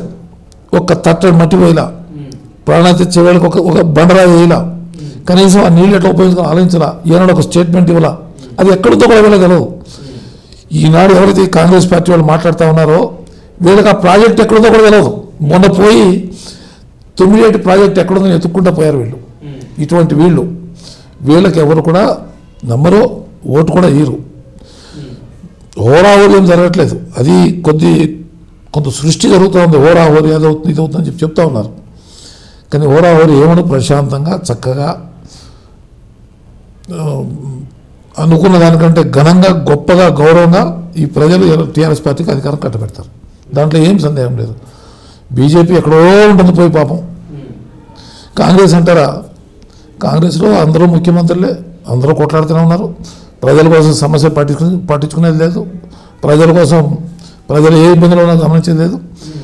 ఈ రెండు లక్షల రూపాయలు రుణమాఫీ చేస్తూ ఉంటారు అసలు రైతు రుణ రుణపడే ఉండదు కదా మా ప్రభుత్వంలో. మా ప్రభుత్వంలో ఇవాళ నుంచి రైతే రైతుకు పెట్టుబడే ప్రభుత్వం ఇస్తూ ఉంది. రైతు ఇంకా అప్పులు పాలు ఎందుకు అవుతాడు? ఒక దేవుడి దయ ఉండి వర్షం చక్కగా ఉండి వ్యవసాయం కరెక్ట్గా అయ్యి పంట కరెక్ట్గా ఉంటే నీకు రైతు అసలు ఇంతకంటే ఆనందం లేదు. భారతదేశం యావత్తు ఈరోజు గర్వపడుతూ ఉంది. భారతదేశం యావత్తు తెలంగాణ వైపు చూస్తూ ఉంది. ఏం జరుగుతుంది? తెలంగాణలో రైతులకి ఈ విధంగా ఎట్లా చేయగలుగుతున్నారని చెప్పి ఈ పాస్బుక్లు ఏంటి ఈ డబ్బులు ఏంటి ఇవన్నీ రకరకాల పెద్ద పెద్ద మా పక్కన మహారాష్ట్ర ఉంది. మహారాష్ట్ర నుంచి కొంతమంది సర్పంచులు వచ్చి నా ఏరియాలో ఈ చెక్కులు పంపిణీ చూసిపోతూ ఉన్నారు. ఒక రైతు రాజ్యం వెళ్తే ఏం జరుగుతుందంటే ఇది తెలంగాణలో జరుగుతూ ఉంది ఇది ఒక ఉదాహరణ ఈరోజు. కాబట్టి కేసీఆర్ గారి నాయకత్వంలోనే ప్రజలు తప్పనిసరిగా గో ఈ ప్రభుత్వానికి అధికారం కట్టబెడతారు దాంట్లో ఎటువంటి సందేహం లేదు. ఇప్పుడు టీఆర్ఎస్ అంటే కేసీఆర్ గారి ప్రభుత్వం మీద కూడా చాలా విమర్శలు ఉన్నాయి కదా. డబుల్ బెడ్రూమ్ ఇల్లులు ఇంతవరకు కట్టలేదు అని చెప్పేసి లేకపోతే రైతు బంధు పథకంలో కేవలం భూస్వాములకు మాత్రమే కట్టుబెడుతున్నారు కౌలుదారులకు ఇవ్వట్లేదు అని చెప్పేసి. ఇలా చాలా రకరకాల వాదనలు చాలా వింటూ ఉన్నాం. కోడిగుడ్డుకి ఎంటికలు పెట్టడమే దొరికితే ఉంటాయా? ఉండవు కదా? అయినా దానికి తీస్తామని చెప్పి చూసే మహానుభావులు చాలామంది ఉన్నారు. ఏమీ లేదు. చెప్తానికి ఏమీ లేదు. మాట్లాడటానికి ఏమీ లేదు. ఇప్పుడు ఏం చెప్పాలి కేసీఆర్ గారి మీద? భూస్వాములకి ఇస్తున్నాడు. ఆమ్, కౌలుదారులకు ఇవ్వట్లేదు అని చెప్తున్నారు. ఇదేంటి? వివాదాలు సృష్టించే మాటలు ఇవన్నీ భూస్వామి అయినా కానీ ఎవరైనా కానీ చిన్న రైతు అయినా కానీ రైతు రైతే. రైతుకు పంట పండించడానికి ఆర్థిక సాయం చేసే కార్యక్రమం ఇది. పెట్టుబడి పెట్టే కార్యక్రమం ఇది. అందరినీ రైతుగానే పరిగణించి ముఖ్యమంత్రి గారు గొప్ప ఆలోచనతో చేశారు. దానికి ప్రతిపక్షాలు ఆ కులము ఈ కులము ఆ చౌదరి ఈ దొర అని చెప్పి చెప్పి మీడియాలో పెట్టి ప్ర- ప్ర- ప్రసారం చేస్తాం చూసాం మనం. ఎంతమంది ఉన్నారండి? నా దగ్గర రెండు లక్షల నలభై వేల ఎకరాలకి ఈరోజు రైతు బంధు పథకం ద్వారా లబ్ధి చేకూరింది. రైతు బంధు పథకం ద్వారా రెండు లక్షల నలభై వేల ఎకరాలకి అరవై కోట్ల రూపాయలు నలభై తొమ్మిది వేల మంది రైతులకు ఇచ్చారు. ఒక ముగ్గురో నలుగురో వంద ఎకరాలు ఉన్నారు. ఒక ముగ్గురో నలుగురో. ఒక మార్వాడు ఆయన ఉన్నాడు. బీబరా అనే గ్రామ పంచాయతీలో ఒక వంద ఇరవై ఎకరాలు ఉన్నాయి ఆయన. ఇంకొక ఆయన ఒక నూట పది ఎకరాలు ఇంకొక ఆయన ఉన్నాడు ఇంకొక సర్దార్జీ ఉన్నాడు నూట యాభై ఎకరాలు ఉన్నాయి ఈ ముగ్గురాలు కూడా తప్పితే ఎవరు అంటే ఆరు వందల ఎకరాలు బహు కష్టంగా వెయ్యి ఎకరాలు. రెండు లక్షల నలభై వేల ఎకరాల భూమికి నువ్వు పంట నష్ట పంట ఆర్థిక సాయం అందించేటప్పుడు ఒక వెయ్యి ఎకరాలు ఎవరో పెద్ద రైతులు వాళ్ళు ఎప్పుడో వెనకడ కాలంలో కొనుక్కొని పెట్టుకున్నారు. వాళ్ళు కూడా కౌ అన్ని రకాలుగా వ్యవసాయం చేస్తారు కొద్ది కౌలుకి ఇస్తాను కొద్ది చేసుకుంటా ఉన్నారు. మరి వాళ్ళకి ఇవ్వడంలో ప్రభుత్వ ఆశయం ఏంటంటే ముఖ్యమంత్రి గారి ఆశయం చిన్న రైతైనా అయినా పెద్ద రైతైనా అయినా పెట్టుబడి పెట్టుబడే కదా అని చెప్పి గొప్ప ఆలోచనతో ఇచ్చాడు ఆయన. దాన్ని ఈ రకంగా బదనాం చేయడం కరెక్ట్ కాదు. ఎంత వీళ్ళు బదనాం చేసినా ఇవాళ డబ్బులు రైతుకు అందినాయి. ఇదే పథకం నేను మీరు ఒకసారి గుర్తు చేసుకోండి. మోదీ గారు కేంద్ర ప్రభుత్వం నోట్ల రద్దు చేసి ఇలా రైతుల్ని అనేక రకాల ఇబ్బందులైనాయి. లక్ష రూపాయలు రైతు డబ్బు బ్యాంకులో ఉంటే బిడ్డ పెళ్ళి చేసుకోవాలన్నా ఎద్దులు కొనుక్కోవాలన్నా పంట పెట్టుబడి పెట్టుకోవాలన్నా నాలుగు వేల రూపాయల నుంచి వారానికి ఇవ్వలేదు. ఒక రైతు పది ఎకరాలు ఉన్న రైతు ఎకరానికి నాలుగు వేలు పెట్టుబడి నలభై వేలు కావాలి. నలభై వేల రూపాయల డబ్బు బ్యాంకులో ఉండి కూడా అతను డ్రా చేసుకోలేడు. నలభై వేలు డ్రా చేయాలంటే పది వారాలు బ్యాంక్ వెళ్ళాలి. పది వారాలు అంటే రెండు నెలల పదిహేను రోజులు దా- దాటిపోయింది. ఈ లోపల పంట చేలో విత్తనం వేయలేడు. అది చేసిన ఘనకార్యం మోదీ. కానీ మా ముఖ్యమంత్రి గారు బ్యాంకు ముందు డబ్బు పంపించి వెనక రైతులను పంపించాడు చెక్కులు ఇచ్చి. పో తీసుకోండి అని చెప్పి చెప్పి. యాభై వేల రూపాయలు చెక్ ఉంటే ఒక్క నిమిషంలో సంతకం పెట్టి డబ్బులు ఇచ్చారు. నలభై వేలు చెక్ ఉంటే ఒక నిమిషంలో ఇచ్చారు. రెండు వేలు తీసుకో మళ్ళీ వారం రా లేకపోతే పదిహేను రోజుల తర్వాత రా నెల రోజుల తర్వాత రా అని చెప్పి చెప్పరా మా ముఖ్యమంత్రి గారు చేసిన ఘనకార్యం ఇది మోదీ గారు చేసిన ఘనకార్యం అది. ఈ తేడా ప్రజలంతా గమనిస్తూ ఉన్నారు. నేనేమంటున్నా అంటే ఈ పెద్ద మనుషులకి ఇచ్చారా చిన్న మనుషులకి ఇచ్చారా గొప్ప వాళ్ళకి ఇచ్చారా ఇవన్నీ అప్రస్తుతం ఇవన్నీ. ఒక రైతు రాజ్యం వెళ్ళి రైతు కుర్చీలో కూర్చొని రైతు బాధ తెలిసి రైతుకి ఏ రకంగా సాయం చేయాలని చెప్పి ఆలోచన చేసిన గొప్ప వ్యక్తి ఇలా కేసీఆర్ గారు. ఈ రకంగా అబండాలు వేయటం అపోజిషన్ పార్టీ వాళ్ళు ఏం చెప్తారు రైతు బంధు పథకం డబ్బులు ఇచ్చాడు కేసీఆర్ గొప్పవాడని చెప్తారా? చెప్పలేరు కదా వాళ్ళు. చెప్తే వాళ్ళకి కుర్చీ ఎప్పుడు రావాలి వాళ్ళకి ఏదో అబద్ధం ఉన్నది? లేనిది. రంగు పూసి కలర్ పూసి లేనిది ఉంది ఉంది లేనిది చెప్తేనే కదా. ఇప్పుడు నన్ను కూడా అంటారు భోజనం పెట్టింది ఓట్ల కోసం భోజనం పెట్టాలని చెప్పి. మీరు మీరు పెట్టలేదు జీవితంలో నీళ్ళు కూడా పోయలేరు మీరు. నేను పిల్లల్ని చదివించి మధ్యాహ్నం భోజనం పెట్టి నా ఇంట్లో పదకొండు వందల మంది భోజనం వండి కాలేజీ తీసుకెళ్ళి భోజనం పెట్టి నేను పిల్లల్ని చదివించి ఈ పిల్లలు ప్రయోజకులు కావాలని ఇలా నేను తాపత్రయపడితే వీళ్ళందరూ ఓట్లు వేస్తారని చెప్పి భోజనం పెడతానని చెప్పి కొద్దిమంది ప్రచారం చేశారు. చేస్తూనే ఉన్నారు. ఇది చేస్తారు ఇది. వాళ్ళేమి అది మంచి పని చేశాడు భోజనం పెట్టాడు అని చెప్పి నన్ను అనరు. కేసీఆర్ గారిని కూడా మంచి కౌలు రైతులు అంటున్నారు కౌలు రైతులకి మనం డబ్బులు ఇవ్వటం కరెక్టేనా? దానికి అనేక సమస్యలు ఉన్నాయి. ఇవాళ ఎవరైతే భూమి కౌలు రైతుకి కానీ కౌలుకి ఇచ్చినప్పుడు వాళ్ళే మాట్లాడుకోవాలి? మీకు ప్రభుత్వం నుంచి నాలుగు వేల రూపాయలు వస్తున్నాయి కదా. ఆ నాలుగు వేల రూపాయలు మినాయించి తత్మ కౌలు తీసుకోవాలని చెప్పి వాళ్ళు మాట్లాడుకోవాలి. వాళ్ళు వాళ్ళు ఇద్దరు అండర్స్టాండింగ్ అయితే ఈ సమస్య కథమైపోతుంది. ఇది ప్రభుత్వం చేసేది కాదు. ఒకవేళ కౌలు రైతుకి ఇస్తా ఉన్నాం రేపటి నుంచి నువ్వు కౌలు ఇవ్వడం బంద్ చేస్తావు. వాడి భూమి కూడా కౌలు చేసిన వాడికి కౌలు ఇవ్వడం బంద్ చేస్తారు. ఇది అనవసరమైన వివాదం పుట్టించి కౌలు రైతులు బతకుండా చేసే కార్యక్రమం చేస్తారు వీళ్ళు. ఈ వివాదం తీసుకొచ్చి ఎవరైనా కౌలుకి ఇచ్చేవాడు కూడా రేపు కౌలుకి ఇవ్వడం. నాకెందుకు కౌలుకి ఇవ్వాలి? నా ప్రభుత్వం నాలుగు వేల సంగతి తీసుకుని గప్ చెప్పుకుంటా నేను కౌలుకి ఇస్తే రేపు నా భూమి మూడేళ్ళ తర్వాత నాది భూమి అని చెప్పి తిరగబడితే అప్పుడు నేను నా పరిస్థితి ఏంటని చెప్పి భూమి ఉన్న వ్యక్తి ఆలోచిస్తాడు రైతు ఆలోచిస్తాడు. ఈ వివాదం పెట్టి వివాదాస్పద ఆరోపణలు చేయడం వివాదంలోకి లాగడం తప్పితే ఇదేమీ కాదు. ఇది రైతుకి నాలుగు వేల రూపాయలు ఇచ్చినప్పుడు ఆ కౌలుకి ఎవరికి తెచ్చుకున్నాడో ఆ మినహాయింపు చేసుకుని వాళ్ళకు అడ్జస్ట్ అండర్స్టాండింగ్ చేసుకున్న గ్రామాల్లో అందరికీ తెలిసిందే ఇది. నీకు నాలుగు వేల రూపాయలు ప్రభుత్వం పెట్టుబడి ఇచ్చింది కదా మరి ఆ పెట్టుబడి నాకే ఇవ్వాలి కదా అని చెప్పి అతను అడిగితే రైతు కూడా ఖచ్చితంగా అతనికి ఇస్తాడు. అది వాళ్ళిద్దరు అండర్స్టాండింగ్ చేసుకుంటారు. లేకపోతే ఆ కౌలు ఇచ్చే దాంట్లోకి వెళ్ళి ఇది తగ్గించుకోవటం అవన్నీ వాళ్ళు చేసుకుంటారు. అది గ్రామాల్లో ఉంది రైతు వారీగా చేసుకుంటారు అది. ఇది రాజకీయంగా పెద్ద చేయాల్సినంత అవసరం లేదు. డబుల్ బెడ్రూమ్ ఇల్లు విషయంలో కూడా కేవలం ఫోర్ ఇయర్స్లో ఇంతవరకు ఏ ఒక్క ఇల్లు నా నియోజకవర్గంలో కూడా నేను నా నియోజకవర్గంలో కూడా టెండర్ అయినాయి ఒకటి కూడా కట్టలేకపోయాను. దీనిలో కొంత వాస్తవం ఉంది మీరు చెప్పేదాంట్లో ఏమవుతుందంటే కాంట్రాక్టర్లు తీసుకుంటున్నారు.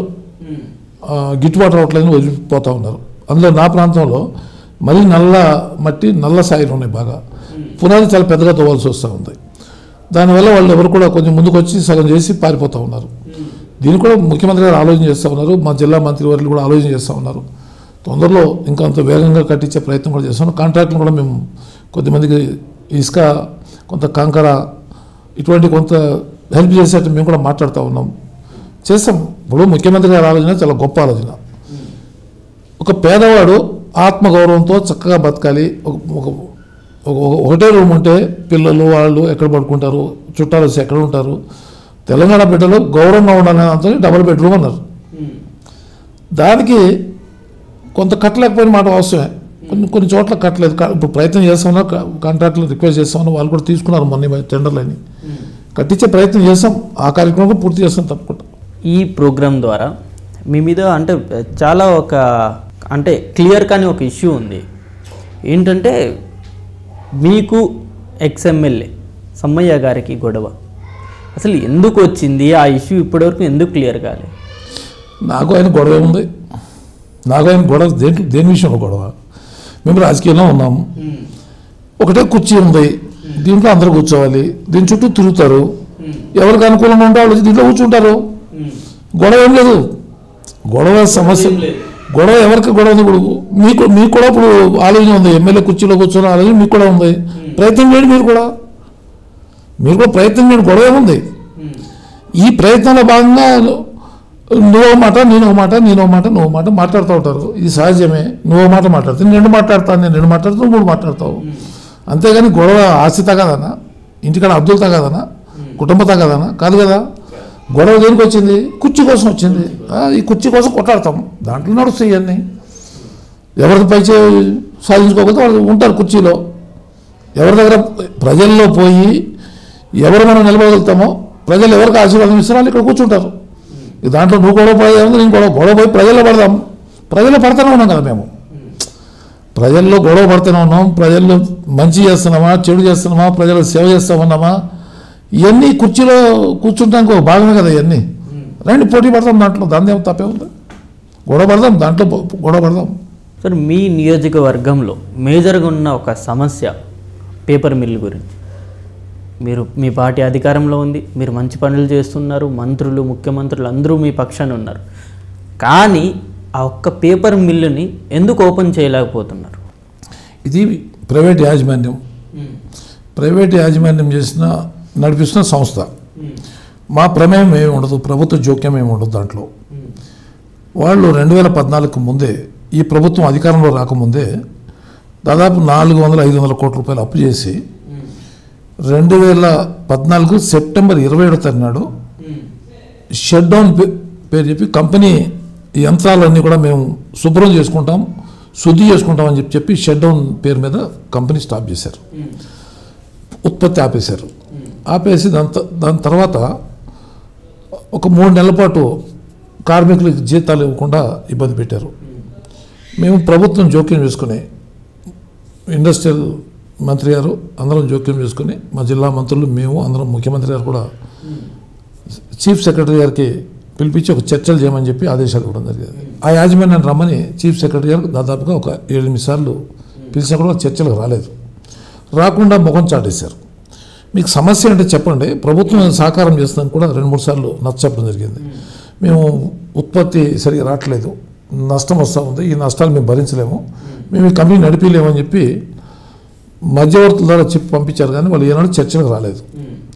ఆ క్రమంలో దాదాపుగా సంవత్సరం రోజులు చర్చలు వస్తారు ఇంకేదైనా అని చెప్పి ప్రయత్నించాం రెండవ సంవత్సరం బ్యాంక్ అధికారుల దగ్గరికి వెళ్ళి మేము గట్టిగా మాట్లాడి బ్యాంక్ అధికారులు తీసుకొచ్చి మరి వాళ్ళు నడిపినప్పుడు కంపెనీ ఆస్తులు మీ హ్యాండ్ ఓవర్లో ఉన్నాయి కాబట్టి మీరు స్వాధీనం చేసుకుని మీరు దీన్ని బహిరంగ వేలం పెట్టి వేరే యాజమాన్యాన మరి మీరు ఏర్పాటు చేసినట్లయితే వాళ్ళకి ప్రభుత్వం నుంచి పూర్తి ప్రో ప్రోత్సాహాలు ఇచ్చి కంపెనీ నడిపించే ప్రయత్నం చేస్తామని చెప్పి చెప్పడం జరిగింది. దాని తర్వాత క్రమంలో బ్యాంక్ వాళ్ళు ఆ ఫ్యాక్టరీని వాళ్ళ స్వాధీనం తీసుకోవటం బహిరంగ వేళ ప్రకటన చేయటం దాని తర్వాత రకరకాల మలుపులు తిరుగుతూ గత మూడు నెలల నుంచి ఇది ఒక కొలికి వచ్చిన సమస్య.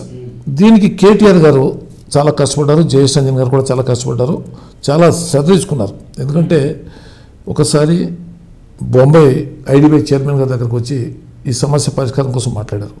రెండోది కొత్త యాజమాన్యం కోసం Calcutta west coast paper mill వాళ్ళ దగ్గరికి స్వయంగా వచ్చి ఈ కంపెనీని మీరు నడిపేయండి ప్రభుత్వం ప్రోత్సహిస్తుందని చెప్పి వారికి చెప్పడం జరిగింది. ఒకసారి అహ్మదాబాద్ రిద్ది సిద్ధి వాళ్ళ దగ్గరికి స్వయంగా వారే వచ్చి మాట్లాడటం జరిగింది. ఢిల్లీలో పాత యాజమాన్యంతోనూ జేకే వాళ్ళతోనూ ఒకసారి ఢిల్లీలో మాట్లాడటం జరిగింది. మళ్ళీ అట్లాగే ఐటీసీ వాళ్ళ దగ్గర కూడా గౌరవ మంత్రివర్యులు కేటీఆర్ గారే ఇంటర్వ్యూ తీసుకుని వారే మాట్లాడడం జరిగింది. అనేక మందిని కొత్త పారిశ్రామికవేత్తలను రిక్వెస్ట్ చేసిన తర్వాత ఎవరు కూడా ముందుకు రాల. దాని దాని తర్వాత జరిగిన క్రమంలో ఇప్పుడు ప్రస్తుతం ఐడిబిఐ బ్యాంకు ఈ ఫ్యాక్టరీని వేలపాట పెట్టింది. ఎన్సిఎల్టీ నేషనల్ కంపెనీ లా ట్రిబ్యునల్లో ఈ సమస్య పరిష్కార దిశగా ఇప్పుడు వచ్చింది. కొత్త యాజమాన్యం జేకే పేపర్ మిల్ వచ్చి మేము ఈ కంపెనీని ఈ రకంగా నడిపిస్తామని చెప్పి వాళ్ళు కోర్టుకి నివేదించడం జరిగింది. ఒక మధ్యలో ఐఆర్పి ఉంటాడు. ఆ ఐఆర్పి గారు కూడా ఈ సమస్య అప్పులు ఎట్లా బకాయిలు ఎట్లా ఇవన్నీ కూడా తీర్చడానికి వారు కూడా అన్ని ఏర్పాట్లు చేశారు. మన పదహారు తారీఖు నాడు బ్యాంకర్స్ మీటింగ్ అయింది. ఒక నెల రోజుల లోపల ఈ కంపెనీ తెరుచుకుంటుంది. దీంట్లో ప్రభుత్వం మాకేమీ సంబంధం లేకపోయినా ప్రభుత్వం కార్మికుల సంక్షేమ దృష్ట్యా సిర్పూర్ కాగజ్ నగర్ క్షేమ దృష్ట్యా తెలంగాణ గడ్డ మీద ఒక కంపెనీ మూతపడకూడదనే ఉద్దేశంతో అనేక రాయితీలు ఇచ్చింది. ఈ కంపెనీ నడిపిస్తానికి ఎవరైతే ముందుకు వస్తారో వాళ్ళకి మేము ఈ రాయితీలు ఇస్తామని చెప్పి కర్రలో రాయితీ ఇచ్చింది బొగ్గులో రాయితీ ఇచ్చింది కరెంట్లో రాయితీ ఇచ్చింది. ఇన్ని రకాల రాయితీలు ఇచ్చి ప్రోత్సహించడం జరిగింది. మీరు చెప్పండి ఆ కంపెనీ బంద్ అవటానికి ఏమైనా కేసీఆర్ గారు కానీ తెలంగాణ ప్రభుత్వం కానీ కట్టి ఇవ్వలేదా లేకపోతే బొగ్గు ఏమైనా ఇవ్వలేదా? కరెంట్ ఏమైనా ఇవ్వలేదా? లేకపోతే కార్మికులు ఏమైనా స్ట్రైక్ చేశారా? లేకపోతే మేము ఏమైనా వాళ్ళని దౌర్జన్యం చేసామా మరి ఎందుకు ఎవరు ఎవరి వల్ల వాళ్ళు ప్రై ప్రైవేట్ యాజమాన్యం వదిలిపెట్టిపోయింది? వాళ్ళ లోన్లు తీసుకొని రకరకాల కార్యక్రమాలు చేసేవాళ్ళు లోన్ ఇబ్బందులు ప్రజలను చేశారు దాన్ని మేము భుజాన్ని వేసుకున్నాం. ఆ సమస్యను పరిష్కారం చేసి ఎంత గొప్ప పరిష్కారం ఇది ఒక కేటీఆర్ గారితో సాధ్యమైంది ఈ రోజున ఇంత చక్కటి పరిష్కారం ఇలా కేటీఆర్ గారు చేయగలిగారు. మేము అదృష్టవంతులం. ఒక నెల రోజులు ఇంకా ముప్పై రోజులు సమయం ఉంది. ఈ ముప్పై రోజుల్లో తుది దశకు వస్తుంది. మా కాగజ్ గారు ఇంకొక యాభై ఏళ్ళ చరిత్ర వందేళ్ళ చరిత్ర మిగిలిపోయేలాగా ఈ ప్రభుత్వం చేయగలిగింది. మేము గర్వంగా చెప్పుకోగలుగుతున్నాం. ఓకే. మీరు రక్తహీనత అంటే ఏదైతే ఈ సమస్యతో బాధపడుతున్న మహిళలకు మీరు దగ్గరుండి మీ పర్సనల్గా మీరు వాళ్ళకు పోషకాహారాన్ని అందిస్తున్నారు. మీ పర్సనల్గా. ఇది భారతదేశంలోనే రక్తహీనత ఎక్కువగా ఉన్న జిల్లా ఆసిఫాబాద్ కొమరంభీం జిల్లాని మొన్న మధ్యన మీరు వార్తాపత్రికలో కూడా వార్తా సాధనాల ద్వారా కూడా చూశారు మీరు. మేము ఒక ఎనిమిది తొమ్మిది నెలల క్రితం అంటే అంత ముందు సంవత్సరం క్రితం నుంచి కూడా చాలా సందర్భాల్లో మేము చూసాం ఆడబిడ్డలు గర్భిణితో ఉన్న ఆడబిడ్డలు రక్తం కావాలని చెప్పి మంచిర్యాల దాకా వెళ్ళటం అక్కడ రక్తం ఎక్కియటం రకరకాల ఇబ్బందులు పడటం కొన్ని మరణాలు కూడా సంభవించినాయి.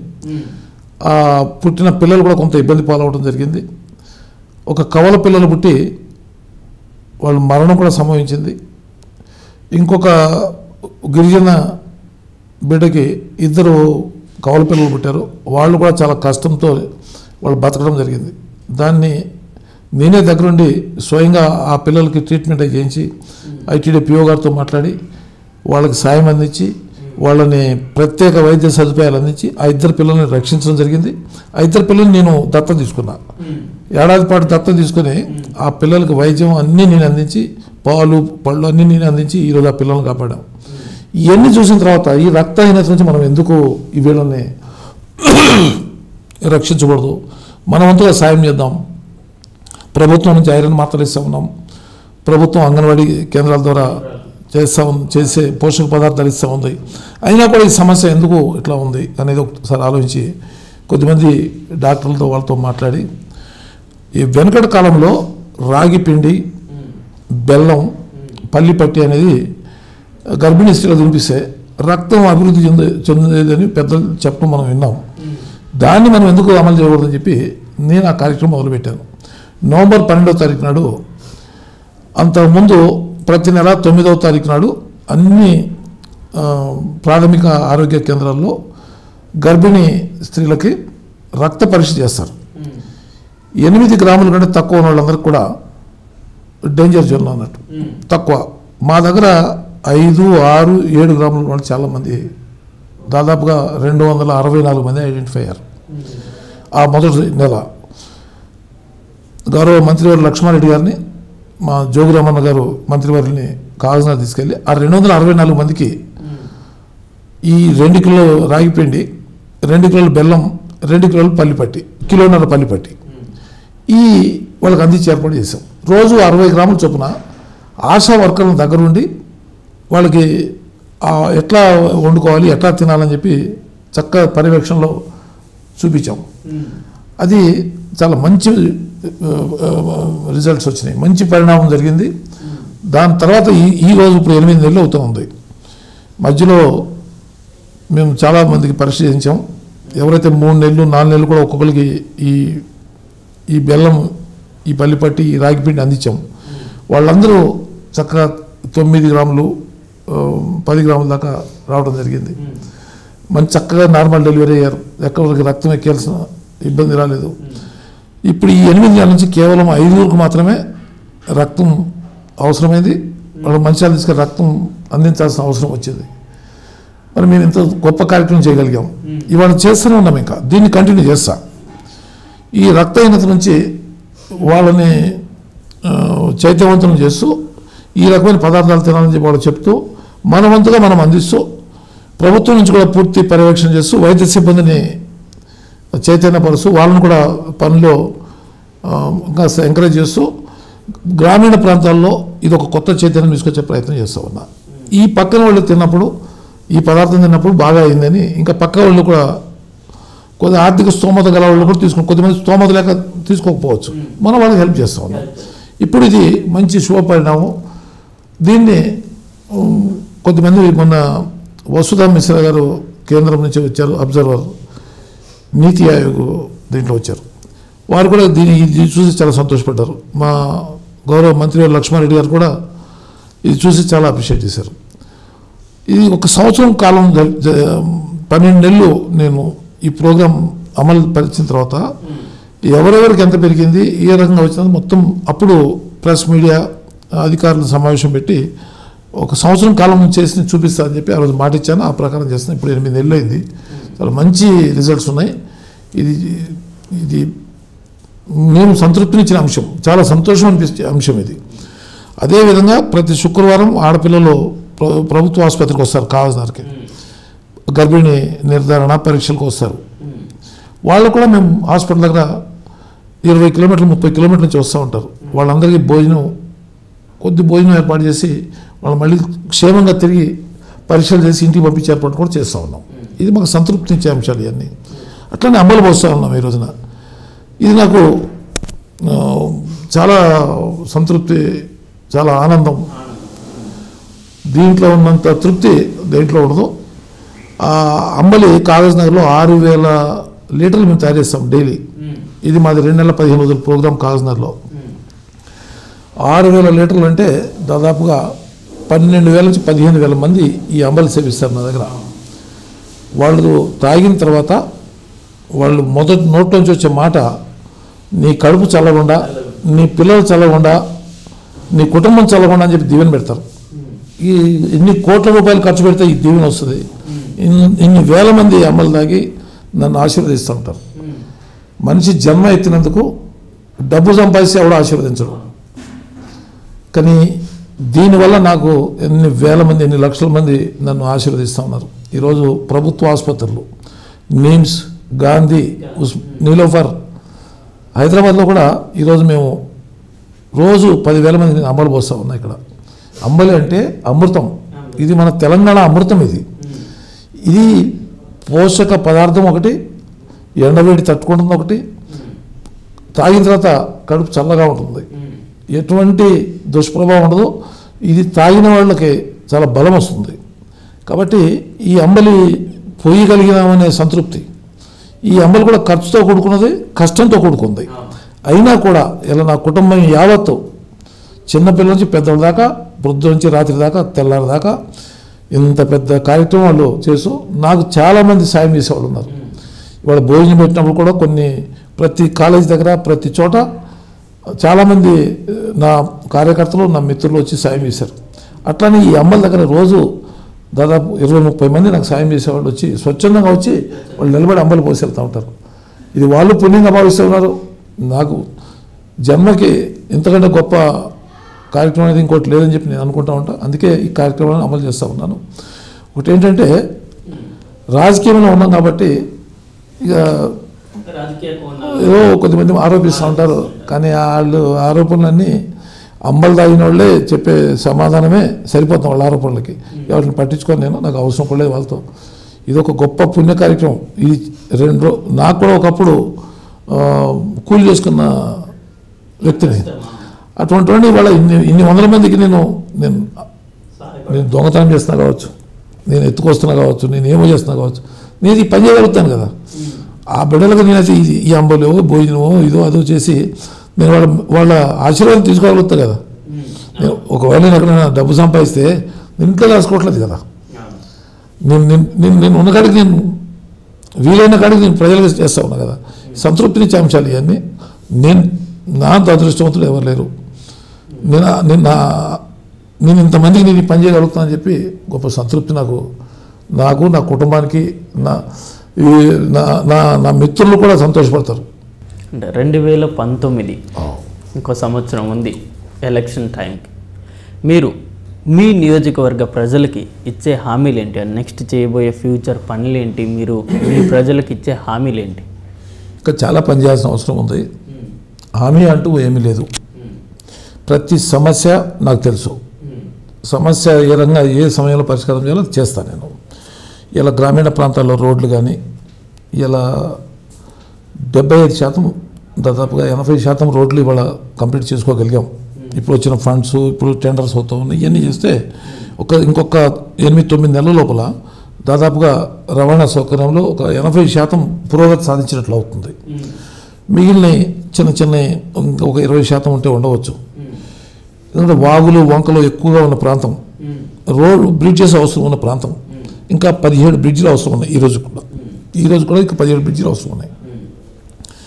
ముఖ్యమంత్రి గారు చాలా సానుకూలంగా విడతల వారీగా దఫాల వారీగా ఇస్తూ ఉన్నారు. ఈ ఈ ముఖ్యమంత్రి గారు కాబట్టి మాకు ఇంత ఫండ్స్ వచ్చింది ఇంకొకళ్ళైతే మాకు ఇవ్వబోదురు. మేము అన్ని సమస్యలు అధిగమిస్తూ ఉన్నాం. రవాణా వ్యవస్థ మెరుగుపడుతూ ఉంది. వైద్యంలో కూడా ఇలా పెంచుకల్పేటలో కూడా రేపు మాకు ముప్పై పడకల ఆసుపత్రి వస్తూ ఉంది. బెజ్జూరులో ఇప్పటికీ ముప్పై పడకల ఆసుపత్రి ముఖ్యమంత్రి గారు ఇచ్చారు. కాగజ్ నగర్లో యాభై పడకల ఆసుపత్రి వంద పడకల ఆసుపత్రి చేస్తారని మాట ఇచ్చారు బిల్డింగ్స్ తయారవుతూ ఉన్నాయి. వైద్యంలో కూడా మేము ముందంజలో ఉన్నాం. ఇంకా మరింత సేవలు అందించబోతూ ఉన్నాం. విద్యలో కూడా మేము చాలా ఇంకా ముందుకు పోతూ ఉన్నాం. రెసిడెన్షియల్ స్కూల్స్ కానీ గురుకులాలు కానీ మన జ్యోతిబా పూలే గురుకులాలు కానీ వీటన్నిటితోని మేము మంచి మెరుగైన విద్య ఈరోజు అందించగలుగుతూ ఉన్నాం. విద్య అయింది వైద్యం అయింది రవాణా అయింది. విద్యుత్ కాడికి వచ్చినప్పటికీ ఇప్పటికి ఎనిమిది సబ్స్టేషన్లు కొత్త శాంక్షన్ చేసుకోగలిగాం. ఇంకొక పది సంవత్సరాల దాకా ఎక్కడ కూడా విద్యుత్ ఆటంకం కలగకుండా మేము ఏర్పాటు చేసుకున్నాము రైతులకి రెండు వేల కనెక్షన్లు ప్రత్యేకంగా అగ్రికల్చర్ కనెక్షన్ ముఖ్యమంత్రి గారి ద్వారా జగదీష్ రెడ్డి గారి ద్వారా మేము సాధించుకోగలిగాం. ఇంకొక రెండు వేల కనెక్షన్లు ఈ యొక్క ఆరు నెలల్లో ఇప్పిపోతూ ఉన్నాం. రైతులు మేలు చేశాము ఈ రకంగా అన్ని వర్గాల వాళ్ళకి మైనార్టీలకి చేసే సాయం చేస్తూ ఉన్నాం. అన్ని వర్గాలకు చేసే సాయం చేస్తూ ఉన్నాం. ఇంకా మాకు సమస్యలు అంటూ ఏమున్నా కూడా అవి మాకు తెలుసు అయ్యి ఏ సమస్యను ఎప్పుడు దశల వారీగా పరిష్కరిస్తూ రాత్రి పగలు నియోజకవర్గ అభివృద్ధి మా లక్ష్యం. ఆ దిశగా పోతాం. మాకు రెండు వేల పద్నా పంతొమ్మిది దాకా అవసరం లేదు. మాకు ఎప్పుడు ఎలక్షన్ పెట్టినా బాధ లేదు. రేపు పెడితే కూడా తయారు మేము సిద్ధంగా ఉన్నాం. ఎప్పుడు పెట్టినా సిద్ధమే ఉన్నాం. ప్రత్యేకంగా ప్రణాళికలు అవసరం లేదు. రైతు వారీగా చేసిన ప్రాజెక్టు పూర్తి చేసుకుంటా ఉన్నాం. కొమరం మేము ప్రాజెక్టు ద్వారా ఇవాళ ముప్పై వేల నలభై వేల ఎకరాల నీళ్ళు వస్తూ ఉన్నాయి. జగన్నాథపూర్ ప్రాజెక్టు ద్వారా పదిహేను వేల ఎకరాల నీళ్ళు వస్తూ ఉన్నాయి. లిఫ్ట్ ఇరిగేషన్ ద్వారా నీళ్ళు వస్తూ ఉన్నాయి.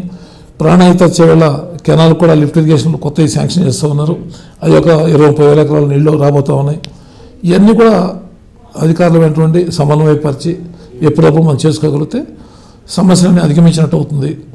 ప్రజలకు తెలుసు ఎవరు ఉంటే అభివృద్ధి చేస్తారు ఎవరు కష్టపడతారు ఎవరు రాత్రి పగలు కష్టపడతారు అది ప్రజల దగ్గర ఇప్పటికే ఉంది. మనం ప్రత్యేకంగా పోయి చెప్పాల్సిన అవసరం లేదు. ఏ చిన్నపిల్లల నుంచి ఏ పండు వ్యక్తి వరకు మాట్లాడినా కోనపు పనిచేస్తాడు అనేది ఆ ముద్ర ఉంది. ఆ చర్యను మొదలు మేము ఆ విశ్వాసం ఆ నమ్మకం మేము సంపాదించుకోగలిగాం. ఆ విశ్వాసం నమ్మకమే మాకు రెండు వేల పంతొమ్మిది ఎన్నికల్లో మాకు విజయం సాధించి పెడితే మేము నమ్ముతా ఉన్నాం. మా ముఖ్యమంత్రి గారి సంక్షేమ కార్యక్రమాలు మాకు ప్రజలు ఉన్న నమ్మకం. మా పార్టీ సిద్ధాంతాలు ఇవన్నీ కలిసిన తర్వాత మా గెలుపు పెద్ద కష్టమేం కాదు. చాలా ఈజీగా మేము గెలుస్తాం. Thank you thank you sir మీ విలువైన అంత ఇంత బిజీ షెడ్యూల్లో కూడా మాకు సమయం కేటాయించి మీ నియోజకవర్గ ప్రజలు అంటే మీ జీవితానికి సంబంధించి ఎంతోమందికి చాలా విషయాలు తెలియని విషయాలు మా ఛానల్ ద్వారా తెలియజేశారు. మీకు ధన్యవాదాలు.